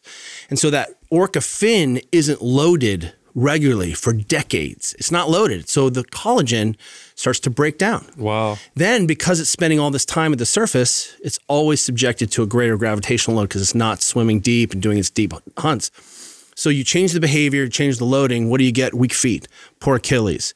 You don't load the tissues. If you want to have a strong body, you have to eccentrically load, concentrically load, isometrically load. That's what your body is built for. Walking is the easiest way to start to load your bones and tissues. Well, and for those people who don't think that walking is rad enough, like put on a heavy backpack. Like Oh, we're such huge fans of rucking and do it as often as we can. So I'm like, hey, if you want to like upgrade your walking, then put 30 pounds on your back and go. But you know, along those lines, I think we've done a disservice. I did this as a trainer. This was a big mistake I made. Which I was a fitness guy, right? So you, you know, when I when I talk to a potential client, like, what do you do for exercise? I walk and scoff. Yeah. walk. Like that's not a workout. Like what a terrible message I was didn't know. telling You- clients. You, got that from somewhere. That's just keep in mind. We all came from Sure. from tradition, and and we got to break this cycle. Yeah, and so uh, I mean, walking is, in, in my opinion, one of the most valuable forms of activity for two reasons. It's it's accessible to most people. You don't need equipment. You go outside, do your thing, whatever. And most people can do it. You don't need to learn a skill to do it. You're probably not going to hurt yourself, and it's relatively easy, so people can adhere to it. What are and the- that makes it so valuable. I can't think of ano- another form of exercise that hits those things. Well, you know, I the society agree loves more. inclusive, so it's like one of the most inclusive things. you can. It is, So, it is. So we're being as, Julia, talk as about inclusive as we can. Talk about the walking school bus. So progressive. So um, one of the because I'm sort of obsessed with kids' health, like you guys are, because we have kids and we sort of see the writing on the wall in terms of what's going on, Yeah. you know, writ large in our country. But you know, when when we had little kids, when Georgia was in first grade, we were doing the thing that most parents are doing, which is packing our kids in the car and driving to the drop off lane. You were in the drop-off lane before? We live. Uh, I mean, if you guys ever hell. spent any time in the Open the drop-off lane, door, it's like- the hate comes like- spilling out, the stress. yeah, the drop off lane is like the saddest place on earth. Like it's so, sad. Like you and, and volunteering at the drop off lane is like the the single worst job you can have. You have to open people's gross cars and you know kids are crying and parents are yelling. It's like the worst experience ever. The drop off lane. So so but we were in that. We were you know getting up, rushing, sitting in traffic, getting our kids in the drop off lane, having like this sort of negative experience, like you know basically kicking our kid out the car door and driving off with the door still open, and um, and then meanwhile we were we had started talking to adults about maybe trying to move more during their workday and maybe consider having a standing desk and trying to incorporate more movement in their life. And we're like, well, we're literally like packing our kids in the car, driving them a mile and a half to school, sitting in the drop off line, like fitness. we're you know. And so so we so I had uh, done some research and found this idea of the walking school bus. And one of the reasons so so in the 70s, something like 75% of kids, 70s and 80s, like when I was a kid, 75% of kids walked or bike to school. Yeah. Um, and that was the norm. And now it's like 15% Yeah, of it's kids. the so it's, now, it's yeah. a complete flip. But interestingly, kids haven't moved farther away from their local school, especially and, and weirdly, in those elementary kidnapper school. van windows went away too. Yeah, it, it's like it's like we still live the same distance by and large as we did from our at crazy? least elementary school, Yeah. right? So we've had this wholesale change in behavior, and one of the things is that people are afraid of their kid walking to school by themselves. So the walking school bus idea is that, you know, we just we said to people in our school district, like Kelly and I will be standing on this corner at seven fifty in the morning, five days a week, rain or shine. So if you want to leave your kid here to walk with us, we'll make sure they Wow. make it to school safely. Great What a great idea. And um, we did that for 10 years at our elementary school. Really? And and it's a mile and a half. So so and you know, we by the way were able to do that and still be at our office by 9 a.m. because there were people who were like, Oh, I have a job, I can't do that. I'm like, Well, I have a job too, actually, and I still But it's made it okay. to my We'll work. take your kid. But but one you. you. know one sort of health benefit late is for you. Kelly and I the there back we would get back from walking to school by 8:20 in the morning and we would already have accumulated like 5,500 steps. love that. Our kids had gotten some steps, but forget to talk to 'em. about forget about all the fitness stuff. Like we had this really special time as a Yes. family to connect and talk and again disconnected and we would pick flowers and look at worms in the gutter. That dad came up to me. He's like, "Dude, changed my life. I lost thirty pounds." Yeah. like, Doing what? What'd you do? I'm like, "Tell me." He's like, "Walk my kid to school." Yeah, and then it had this it had this like crazy community benefit because parents first would just drop their kids off with us, but then they're like, "Hey, that looks kind of fun." So then the parents join. would park their car at the corner and join us, and so we great. So created cool. community and made all these friends and got kids moving. And you know, we we we the way that we could walk, we entered the school from the backside of the school through this like beautiful field with flowers, and we completely avoided the chaos of the drop and the of the drop off lane. And we knew it was good for our kids. We knew we were setting up our kids to start their school day like feeling alert and ready to learn. But forget about our kids. Like we felt so much better. Like we weren't jumping in the car and getting kids in car seats and chucking them out the drop off lane. And just for like just for us, the way to start the day was it was dramatic. You know what? I, there's a lot of things I love idea. about that. That's amazing. I, I just read a, a, a meta analysis and had a, a realization about uh, two weeks ago. I'd love your guys' opinion on this. There was a hu- I don't know if you guys saw this. The, the they did this huge meta analysis on exercise and uh, depression and anxiety, and now they're considering exercise as a potential finally first line treatment for this is like this is the medical community. They're considering it as a first line treatment now for depression and anxiety because they're seeing that it's as effective or more effective than talk therapy and medications. What's Ratey to deal say? with those things?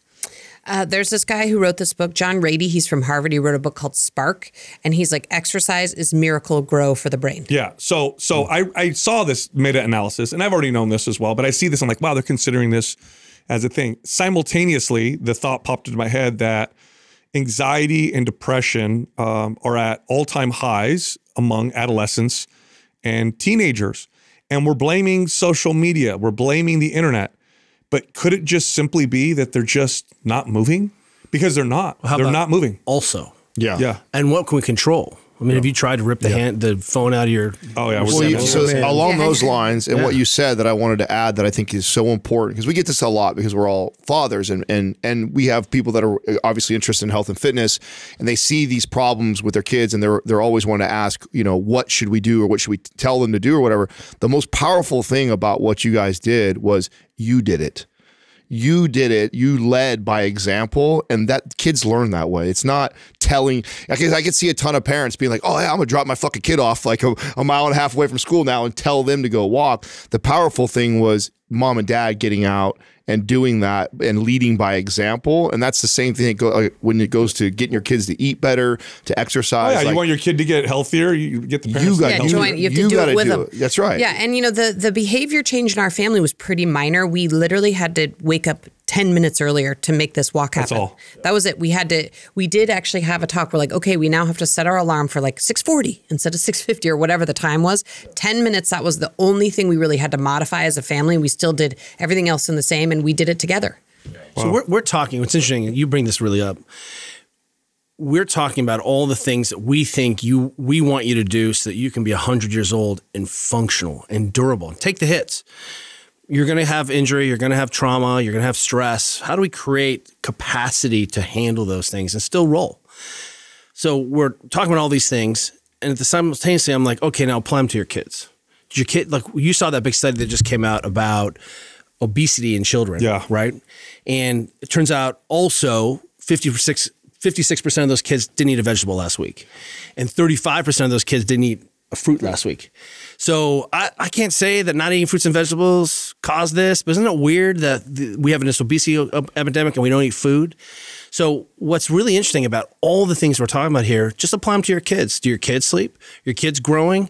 How about how much movement they had? We we did this project with Nike a million years ago. Remember the fuel band? Mm-hmm, Mm-hmm. I helped kill the FuelBand. You're welcome. I went up there and I was like, I don't think this is doing what you think it's doing. But they gave us a whole bunch of FuelBands, and I was like, cool, kids, here's some FuelBands. you know, and what I, we saw was that our kids were walking two or three thousand steps a day. They weren't moving. Yeah. and it was rainy. It was less. So, you know, what we found, and we even just right before the pandemic, we're doing a big piece of research with Cal Berkeley about this. And what we're seeing is that we haven't created an environment where the person, the child, has to do the right things without even knowing it. Right. Because they get dropped off, because there's not PE, because we're asking them to sit and focus, because they go home, because they have shitty food choices, they don't even have agency.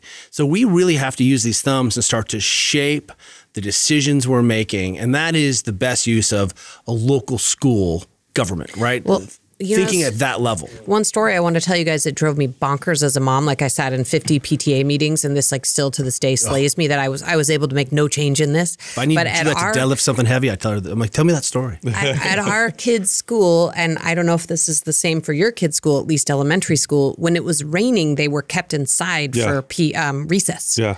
And this drove me insane. And I think part of it is I grew up in Colorado in a snowy climate, and we actually would put on at recess, we would put back on all of our snow gear that we'd walk to school in in the snow, and we would go outside and play in the snow. And it just you know, and this is all based on some like societal myth that you get a cold from being cold or that you get a cold from being wet. And and a lot of this was and what was interesting to me is this seemed so straightforward. I was like the kids need to go outside rain or shine. Like let the kids play outside. Kids like to play in rain.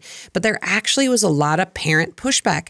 Kid, parents were actually worried their kids were going to get a cold or they were actually worried it was dangerous for them to play in the rain. And i was like i finally just threw my arms up after 10 years. I was like you know but it's little it's little things like that right? We've been brainwashed for so many decades around that. That's actually a, a, a small argument in our house because my wife has been brainwashed by her family and their their, their parents' parents that that like I'm always like pushing my kid out barefoot in the dirt, Getting dirty, man, She's as like, much "Oh as my possible." god, Come back when you're really cold. Oh yeah, and I'm like, yeah, we, we want him to be able to acclimate to all these different types of environment. If you keep him in the 70 degree temperature house year round all the time, as soon as he has to be out in 55 one day, he The is going to get of sick. Yeah. and Caroline was born, she's our uh, our 14 year old 5'10 super goalie, right? She's a mutant, and um, she was a preemie. And Juliet uh, at UCSF, pretty good hospital, and we're being discharged. She's. We're three weeks in the NICU with that kid, and Juliet has done this heroic job getting our kid to breastfeed and get have have that kid have access to breast milk. And as they push us out the door, the kid's breastfeeding. They're like, "Give your kid these vitamins," and I was like, "What?" And they were like, yeah, you got to, these vitamins are crucial. And I was like, look at me in the eye and tell me breast milk is incomplete nutrition for humans. I was like, I dare you. And they all got all twitchy. And I was like, what's the real problem? And they were like, well, I was like, what's the real problem? Women in San Francisco weren't exposed to sunlight. Yeah. They no don't vitamin go D in the milk. Yeah, yeah, yeah. So I was like, wait a minute. So I'm like, so if I get my kid in the sun, I don't have to give her these nasty ass vitamins. And they were like, yes, but that won't happen. So it's easier to put you give your kids statins now Yeah. and these like these drugs that are going to strip like at some point you start to see the madness of what's going on. If there's a solution, be outside, let's get some sunlight on your eyes. It's really crucial that we start to think differently as society about this. And I, I do think that you, you, as you pointed out, these these vital signs are a simple way to put them on people's radar. Yeah. And then we'll see how it goes in ten years. I mean, maybe maybe this is all horseshit. Can we go through some more of these uh, vital signs? What are some more that you've identified that are There's 10, right? Yeah, there's 10. Um, you know, we, we talked about a lot of the movement ones, hip extension, getting up and down Yeah. off the floor, um, being able to put your shoulders over your head. Um, one of the ones we haven't talked about that I am focused on is balance. Um, balance is one of those things that, like, again, who's got time for that? Like who's seriously like you're gonna be like, oh hey, guys wanna go to the balance You guys want to me meet me up? You want to meet up at a balance class tonight at 7 p.m. You're gonna be like, yeah, no, thank you. I'm gonna be watching The Mandalorian. Like, no, thank you, right?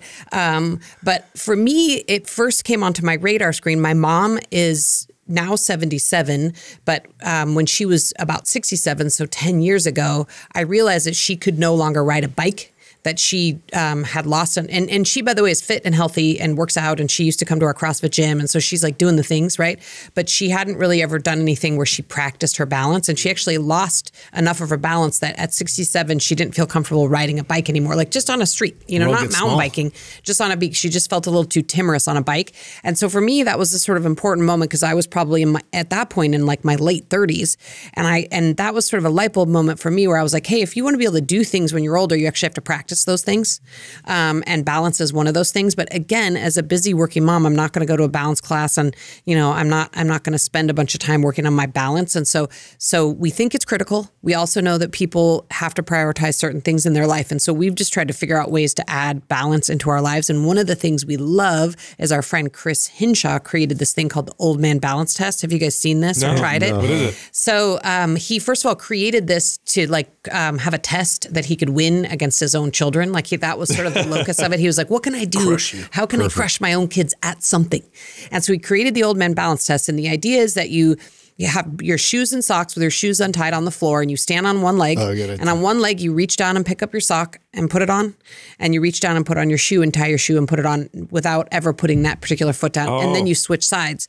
Well, so this is now how I put on my shoes and socks Oh, every it's an single exercise. day. Yeah, you gotta put your shoes on anyway. I have to do that anyway, so it's just something that I do in my normal life, Hmm. um, and it's also fun. And it is, you know, like you guys should all go home and have your kids do it, and you know your spouses do it, and it's like it's also Want to see just a fun test are? to do. Smash yourself in the gym next morning. Get up out of bed. And you know, and Kelly, you're you're gonna a die. lot, a lot of the tests in this book, I think, bring up for me often sort of being bringing awareness to what Kelly calls session costs, and that's like sort of a technical term. But but what I've noticed is when I've when I'm low on sleep, if I haven't eaten well, if I've been traveling, if I haven't been able to do as, enough soft tissue work, suck. I see in the morning the session cost of those poor behaviors in trying to do the old man balance test when I put my shoes on, right? So if I'm like on my stuff and you know I've I've been working on everything, I feel good, I'm well rested, it's like the old man balance test is like a breeze for me.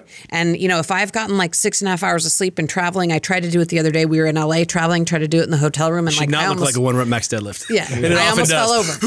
over. You know, um, one of the things that we're obsessed with is trying to have this through line of things that are important from a beginner or someone who's just interested in turning their health around all the way to my Olympians.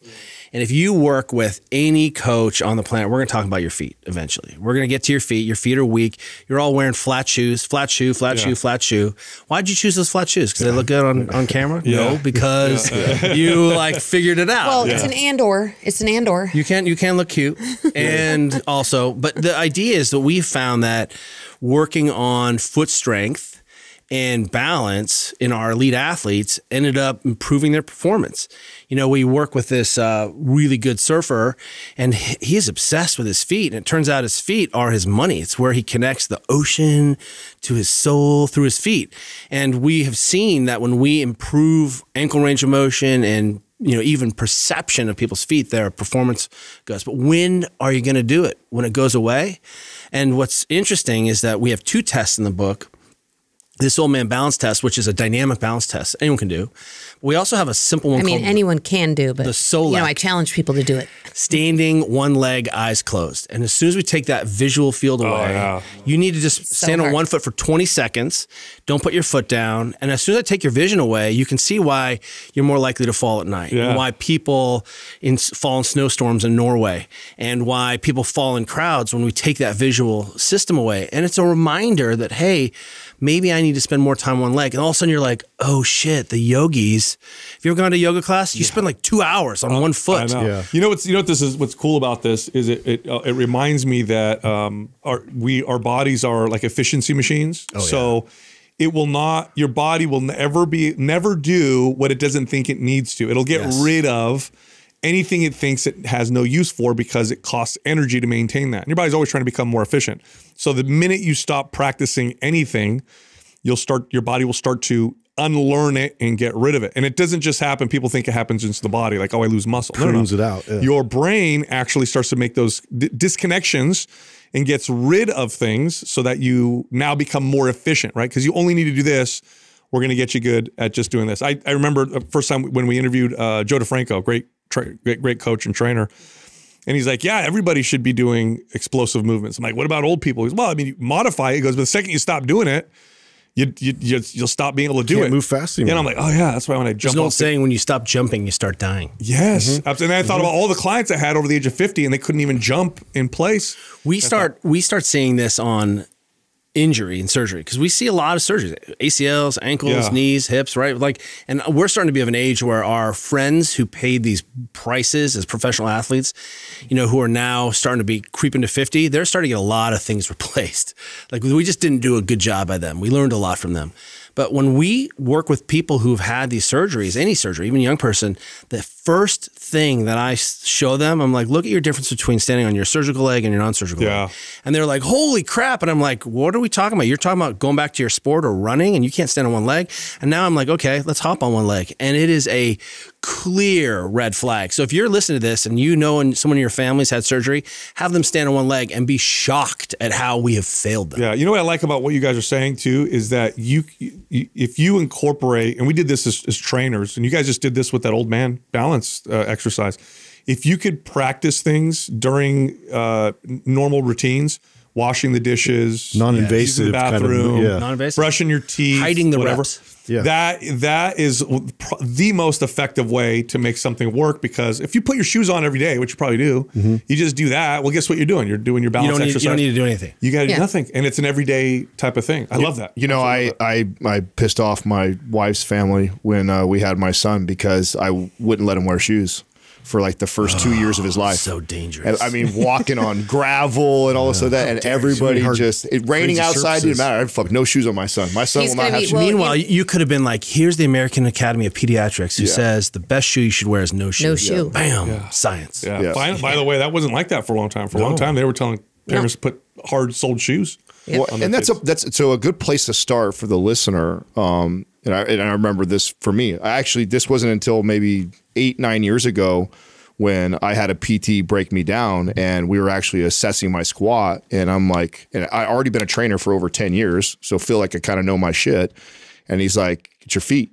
I'm like, "My feet." Right? I'm not. I wasn't even thinking to look in that direction. Broke that down, and then I went on this kick, and I mean, completely changed my squat. Got rid of my bursitis in my hips, and it all came from. And I started with just one. Every time I came in the house now, I took my shoes off, got barefoot. So why why do I need to wear shoes in my house anyways? Keep my carpets cleaner that way. Get barefoot right away. Walk out on the grass. Do those ten minute walks we talk about. I would do it barefoot. Yeah. I just thing- started with that, and then started to build it into my training sessions and made a world of a difference just by learning to get reconnected to this these these feet that have what seven thousand nerve endings in it Well, that we put these massive casts on all How day. simple is it as a practice that it can be so background in your life, but so impactful to literally just take your shoes off and Right. be barefoot in your house? You know how I sell this to people because you'll tell people like, uh, I don't know, what, what are you talking about? I'll say, imagine if if ever since you were uh, a, a, a child, you always wore gloves. Yeah, snow So, gloves. so you didn't you, you you can still handle things, but you didn't feel and touch them. So that's what we do to our feet. Even just putting socks on, you're not all the the the, the connections and the that go from the brain to the feet. They're all numbed down and, and nullified almost because you, you just even just wearing socks. And then when I say it like that, people kind of get like, oh, that makes a lot of sense. Just walk around barefoot. There's a big chunk of your brain that is wired for your foot. Yeah. It, the sensory motor cortex is what's called, but you can see the old uh, drawings of the homunculus. Like your genitals take a massive part of your brain. Yeah. Lips and face, massive part of your brain. Hands, like your kneecaps, nothing. Like your elbow, it's nothing. But your feet is mo- almost as much real estate as your hands.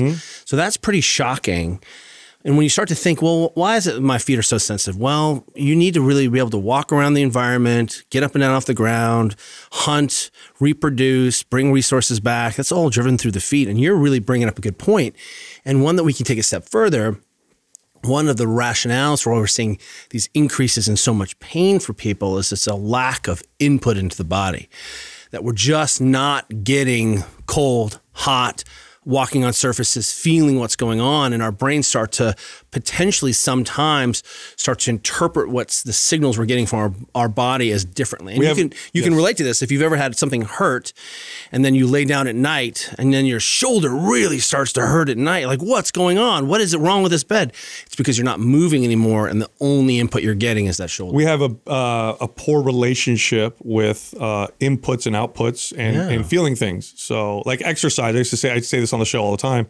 You know, you get a new client, they do an exercise. I remember I had this one lady first, it was like first year training. She's doing tricep press down. She let go of the bar, weight, you know, slammed. I'm like, what happened? She's like, uh, I think I hurt myself, and I had her explain what was going on. I'm like, oh, you felt your tricep burn. It was burning. You just don't have a relationship with pain that's where right. you understand or what good discomfort. pain Same and with bad use pain. Discomfort, uncomfort. Right. So you can't develop a full, proper relationship because you don't have these inputs. So it's like you cover your body and you don't la- allow those your body to feel anything. You have an incomplete relationship. So you can't possibly be in your body with that without those inputs. we have the same issue. rationale for sport. We have the same issue with uh, nutrition.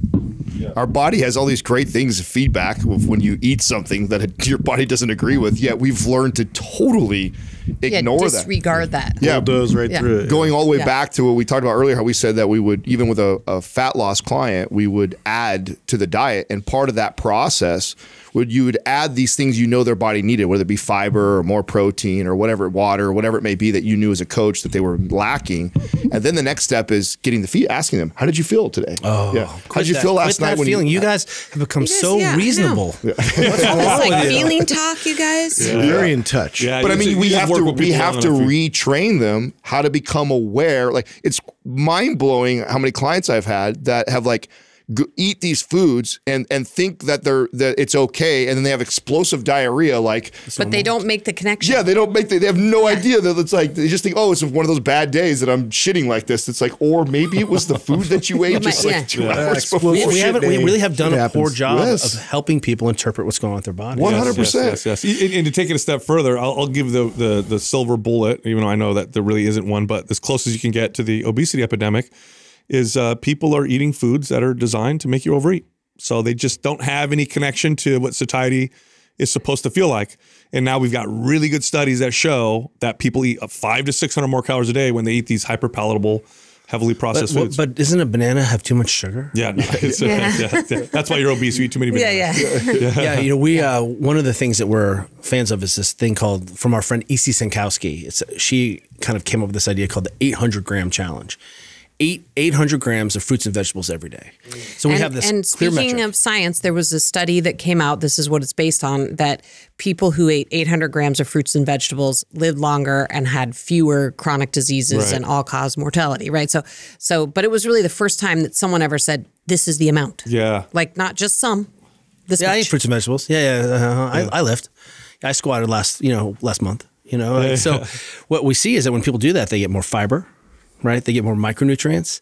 They're high satiety. They feel full, and all of a sudden, I'm like, "You dude, did you eat a pound of cherries? That's 230 calories." Yeah, you know what I mean? and Like, they, what eat a second pound. they start to out. naturally push out the the, the no pop tart, Right. the Yeah. Doritos, Right. that because they're focused on. This is why this strategy is so powerful for other coaches that are listening. Is like go teaching them to go after foods that benefit them, and instead of telling them they can't have something, what naturally happens is they end up restricting from those in order to hit those targets, and then you play that psychological game of I'm not telling you you can't do those things. I'm just telling you go do this for me, and then see what how you Eat an entire Yeah, I mean, we've- melon we've and had- eat it and two chicken breasts, and then you'd be like, "Let me see how much room there is for that bag." That's right. Yeah, So there's, you know, five or six people we're working directly with at our publishing company for this book, and you know, they would all not describe themselves as athletes. Or people who are into diet culture. They're not into diet culture, but thing. but they, um, you know. Even the word they use, they said, "Hey, we've been following your recommendations in the nutrition chapter, the vitals, you know, protein and micronutrient vital signs in this chapter." And they're like, "Wow, it's the first time I've been following a diet that feels expansive."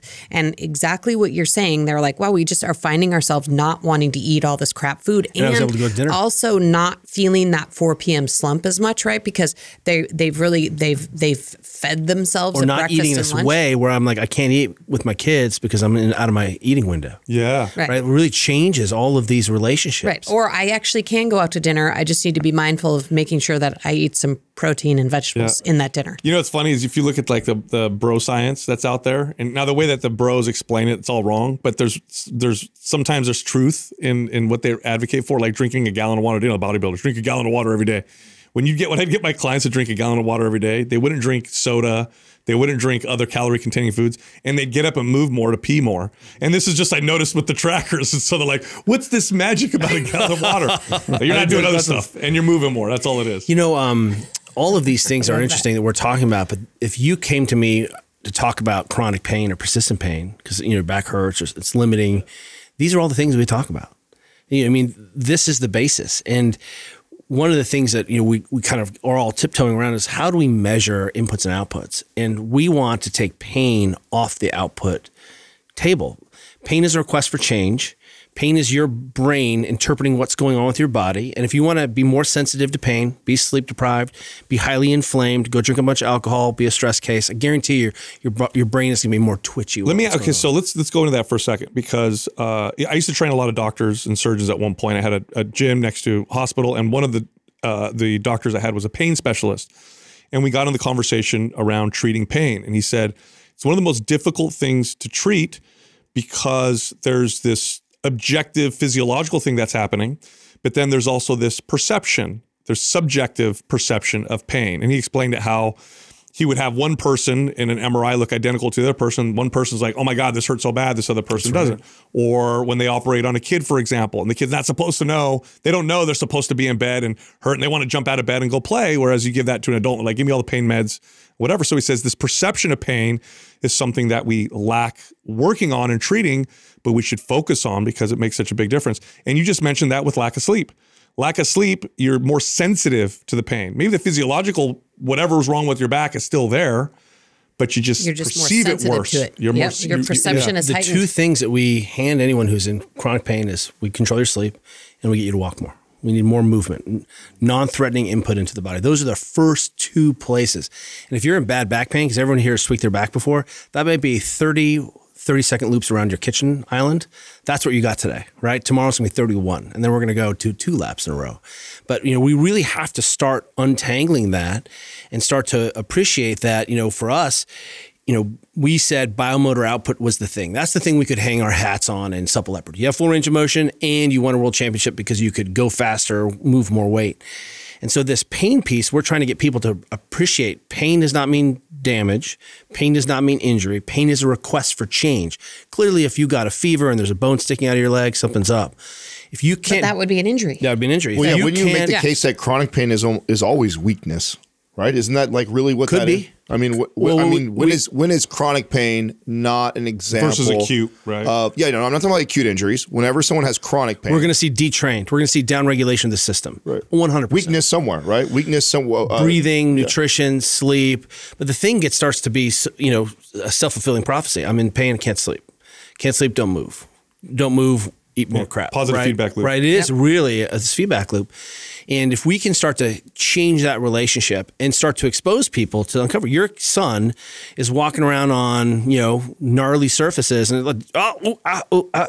like that's fine. You know, the your family's experience, your genetics, all of those things matter. If I dropped into Juliet's brain while she was rowing or suffering, I would perish, right? Because like Juliet can outsuffer anyone. That's her secret super skill.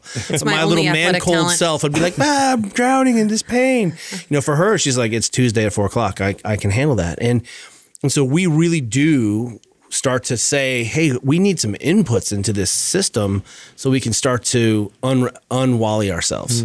Who did you write the book for? Who was your avatar? Um, Man, I I mean, I think it's for exercisers and non-exercisers. I mean, it, you know, obviously that means everybody. Um, but what we saw working with professional athletes and high performers is that those those people maybe got like three or five out of the ten vital signs. They had some check blind the box. spots. They they had some they had some things going for them. That's still quite a few blind spots.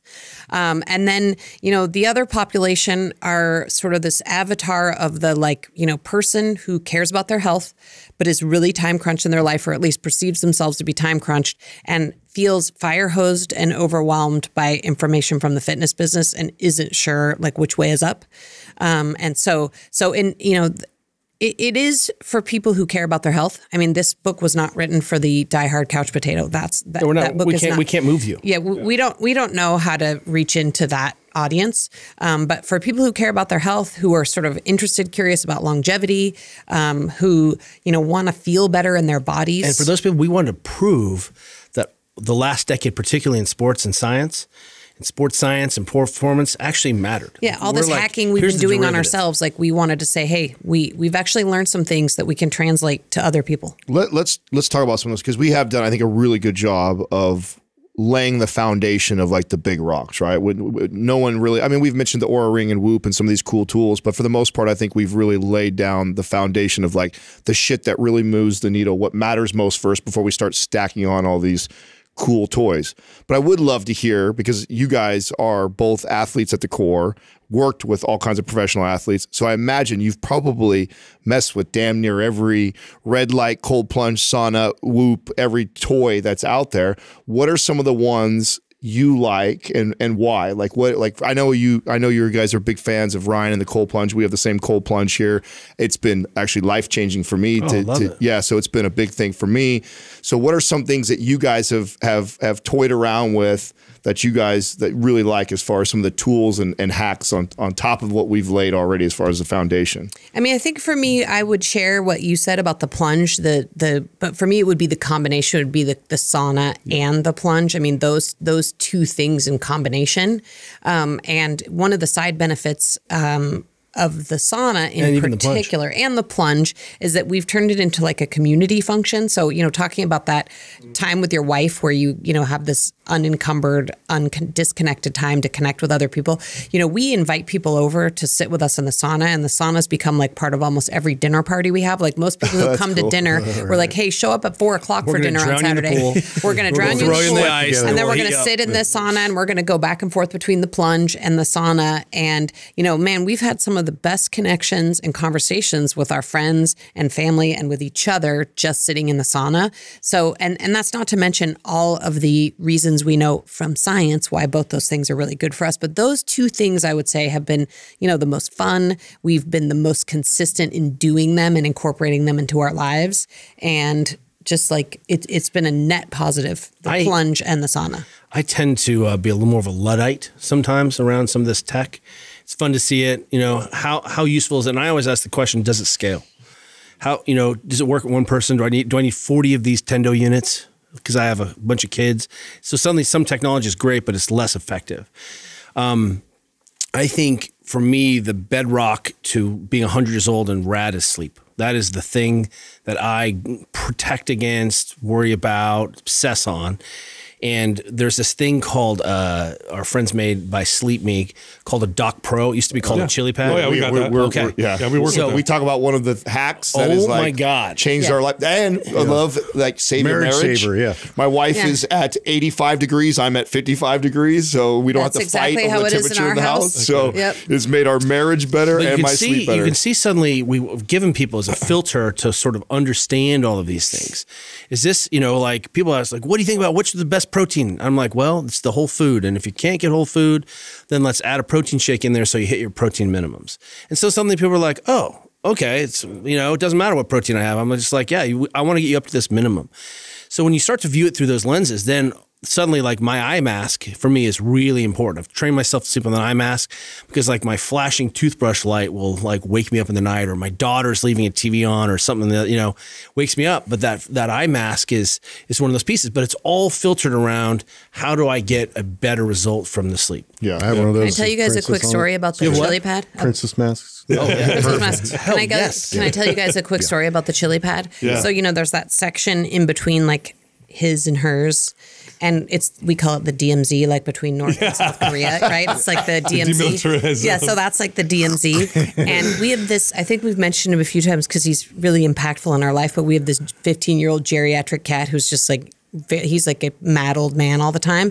But um, one of the things we're convinced he does on purpose is he gets up on our Dock Pros and every so often he turns up our Dock Pros to 115 degrees in the middle of the up. night. He can turn it up with his paw. He can turn it up with his paw, and he stands on it, and and so that's the only time you'll find me over in the DMZ. Is that like sometimes the act of reaching over to turn it back down is too much, so it's just easier to move into the DMZ. But otherwise, we're like in our own little universe. We, we call that chili the pads. that's the the sex zone for our house. That's the, Yeah, yeah. that's the only place where sex is happening. It ain't happening over in uh, Yeah, it's- Norway. it's It too cold over there. Yeah, Yeah. yeah, it's, it ain't happening over there. in, Yeah, Jamaica. Yeah, it's way too Antarctica, fucking hot. happening. That's the sex zone right there Well, in and the I think you know how are we helping people identify, you know, what is successful? How do you win health? I think it's a good question, right? Because that's how we're playing this game. You know, you're just going to win. You win fitness, and that's how we've kind of presented it. Three tips: you took your shirt off, you had the the bro, all your, you know, the thirst trap, you know, and then and then you just retire and you walk away, you know. So I think you know things should be tracking in your blood panel you know you should be feeling better. You should be able to do the things you want to do. And these objective measurements in the book really do give you ways to have clear lines of above and below. And they're they're pretty reasonable but i think that's really the question is how do we know what's working? Well we we have established some benchmarks for you but also what's important to you and are you better able to do the things you care about because that's really Quality. that's ultimately how we sell perfor- nutrition to people, right? They're like, "Wow, I was able to do more work, my body composition changed." Uh, What is it you were saying? You know, give me more. Of Well, that. and our feeling on all this technology and tools is we love them and we're users of them, but our, our sort of general view out into the public is like, do the basics first. Like, hey, maybe wait to spend your hard earned money on a Dock Pro or Chili Pad until you've at least tried to get eight hours of sleep. Like, are you laying in bed for nine hours to get eight hours of sleep? Like, let's do the basics first. And then once you've checked the box on the basics, like, then it's a time when you can go explore some of this more complicated, you know, optimizing I- fitness stuff. I want to call on everyone who, if you're listening to Mind Pump, you're interested in all of this. This is your jam. It's a hobby. You're a dilettante. You're like you're interested. You're you'll listen to this. You'll listen to your guests and then tr- track them down. But you are an important node in your family because you have family members who are overweight or on blood pressure medicine, and the only person they're going to listen to is you. They're not getting the physician is not set up for it. The physician has six to eight minutes to help someone untangle a common problem, right? That that's incomplete. And so we think that if we can sort of deputize our fitness, health, performance friends to say, hey, look, I this is for the neighbor, this book is for my auntie, this is for you know the the person who I work with. I think we can really start to sort of leverage the the potential of all of this experiment that we've all been part Yeah, of. totally agree. I, I love the all the tech things that enhance the core things that we talk about, which is also why I, I brought that up, and I loved the way you answered it because what you didn't do is you didn't spout off the science that's connected to recovery from like the like, Heat shock proteins and, and it's else. Yeah. and it's like there's like there's a movement right now. I don't know if you guys see it in our community in this fitness community right now. That is you know because the of course, course the cold plunge has taken off in the last you know couple years. It's getting huge and now it's become very trendy. Thank you, Wim then Hof. now there's counter the counter message of like well the science says that if when it comes to recovery and muscle mm-hmm. there and You're not like going to build as much muscle. yeah, you won't build as much muscle, and so it's like stop. First of all, you guys are Middle arguing. aged bro, stop Yeah, you're you're arguing over the wrong things. You and- deadlift 225. yeah, it's and so I love the way you guys even communicate those tools. Is if it's enhancing my sleep, if it's enhancing my relationship with my spouse, if it's enhancing uh, the way I make better choice around food, my foot. I mean, those are the stuff that I love. And then and you have to decide for yourself: is this uh, you know overcomplicating my fitness journey, or is it enhancing it and improving it? And if it's hitting on those those core things that we talked about the you know the first hour and a half, like to me, like that's that's those things are valuable. Here- here's Those why I are- think you uh, Yeah, you like guys have written is so valuable. It's because you're both really obviously very very smart people, but for a long time you've worked with everyday regular people. So you know what the books and the literature says, but you know what works in real life and how to apply it. And if you don't have both of those, it just doesn't work. So Really appreciate you guys coming on the show. Do a Thank good job guys with so that. much for so having fun us. to hang so out. fun to hang out with you guys. Yeah, good to see you guys. and- Yeah. good stuff. Likewise. You Although I by the way. think so, I think we did a very good job. I mean, no, uh, I don't think that we we talked over. We didn't argue and debate studies. I mean, sometimes I feel like that's what our space loves to do. You know, is they love to get in a debate of, of It's artifacts of scholarship. That's a feature, yeah, Yeah. but it's not the only feature. It's No, not the only yeah. important feature. hundred percent. Thanks again, guys. Thank, you guys so much. Right on. Today, we're going to teach you everything you need to know to build a strong, well developed chest. When I think of you know, weak points and, and areas that I struggled with developing for a, a really long time, chest was up there with the Yeah, it was for me. It was for me for sure. I got more caught up in the weight I could lift versus how I was developing my body. I think it's one of the most challenging muscles to develop for most people because the form and technique.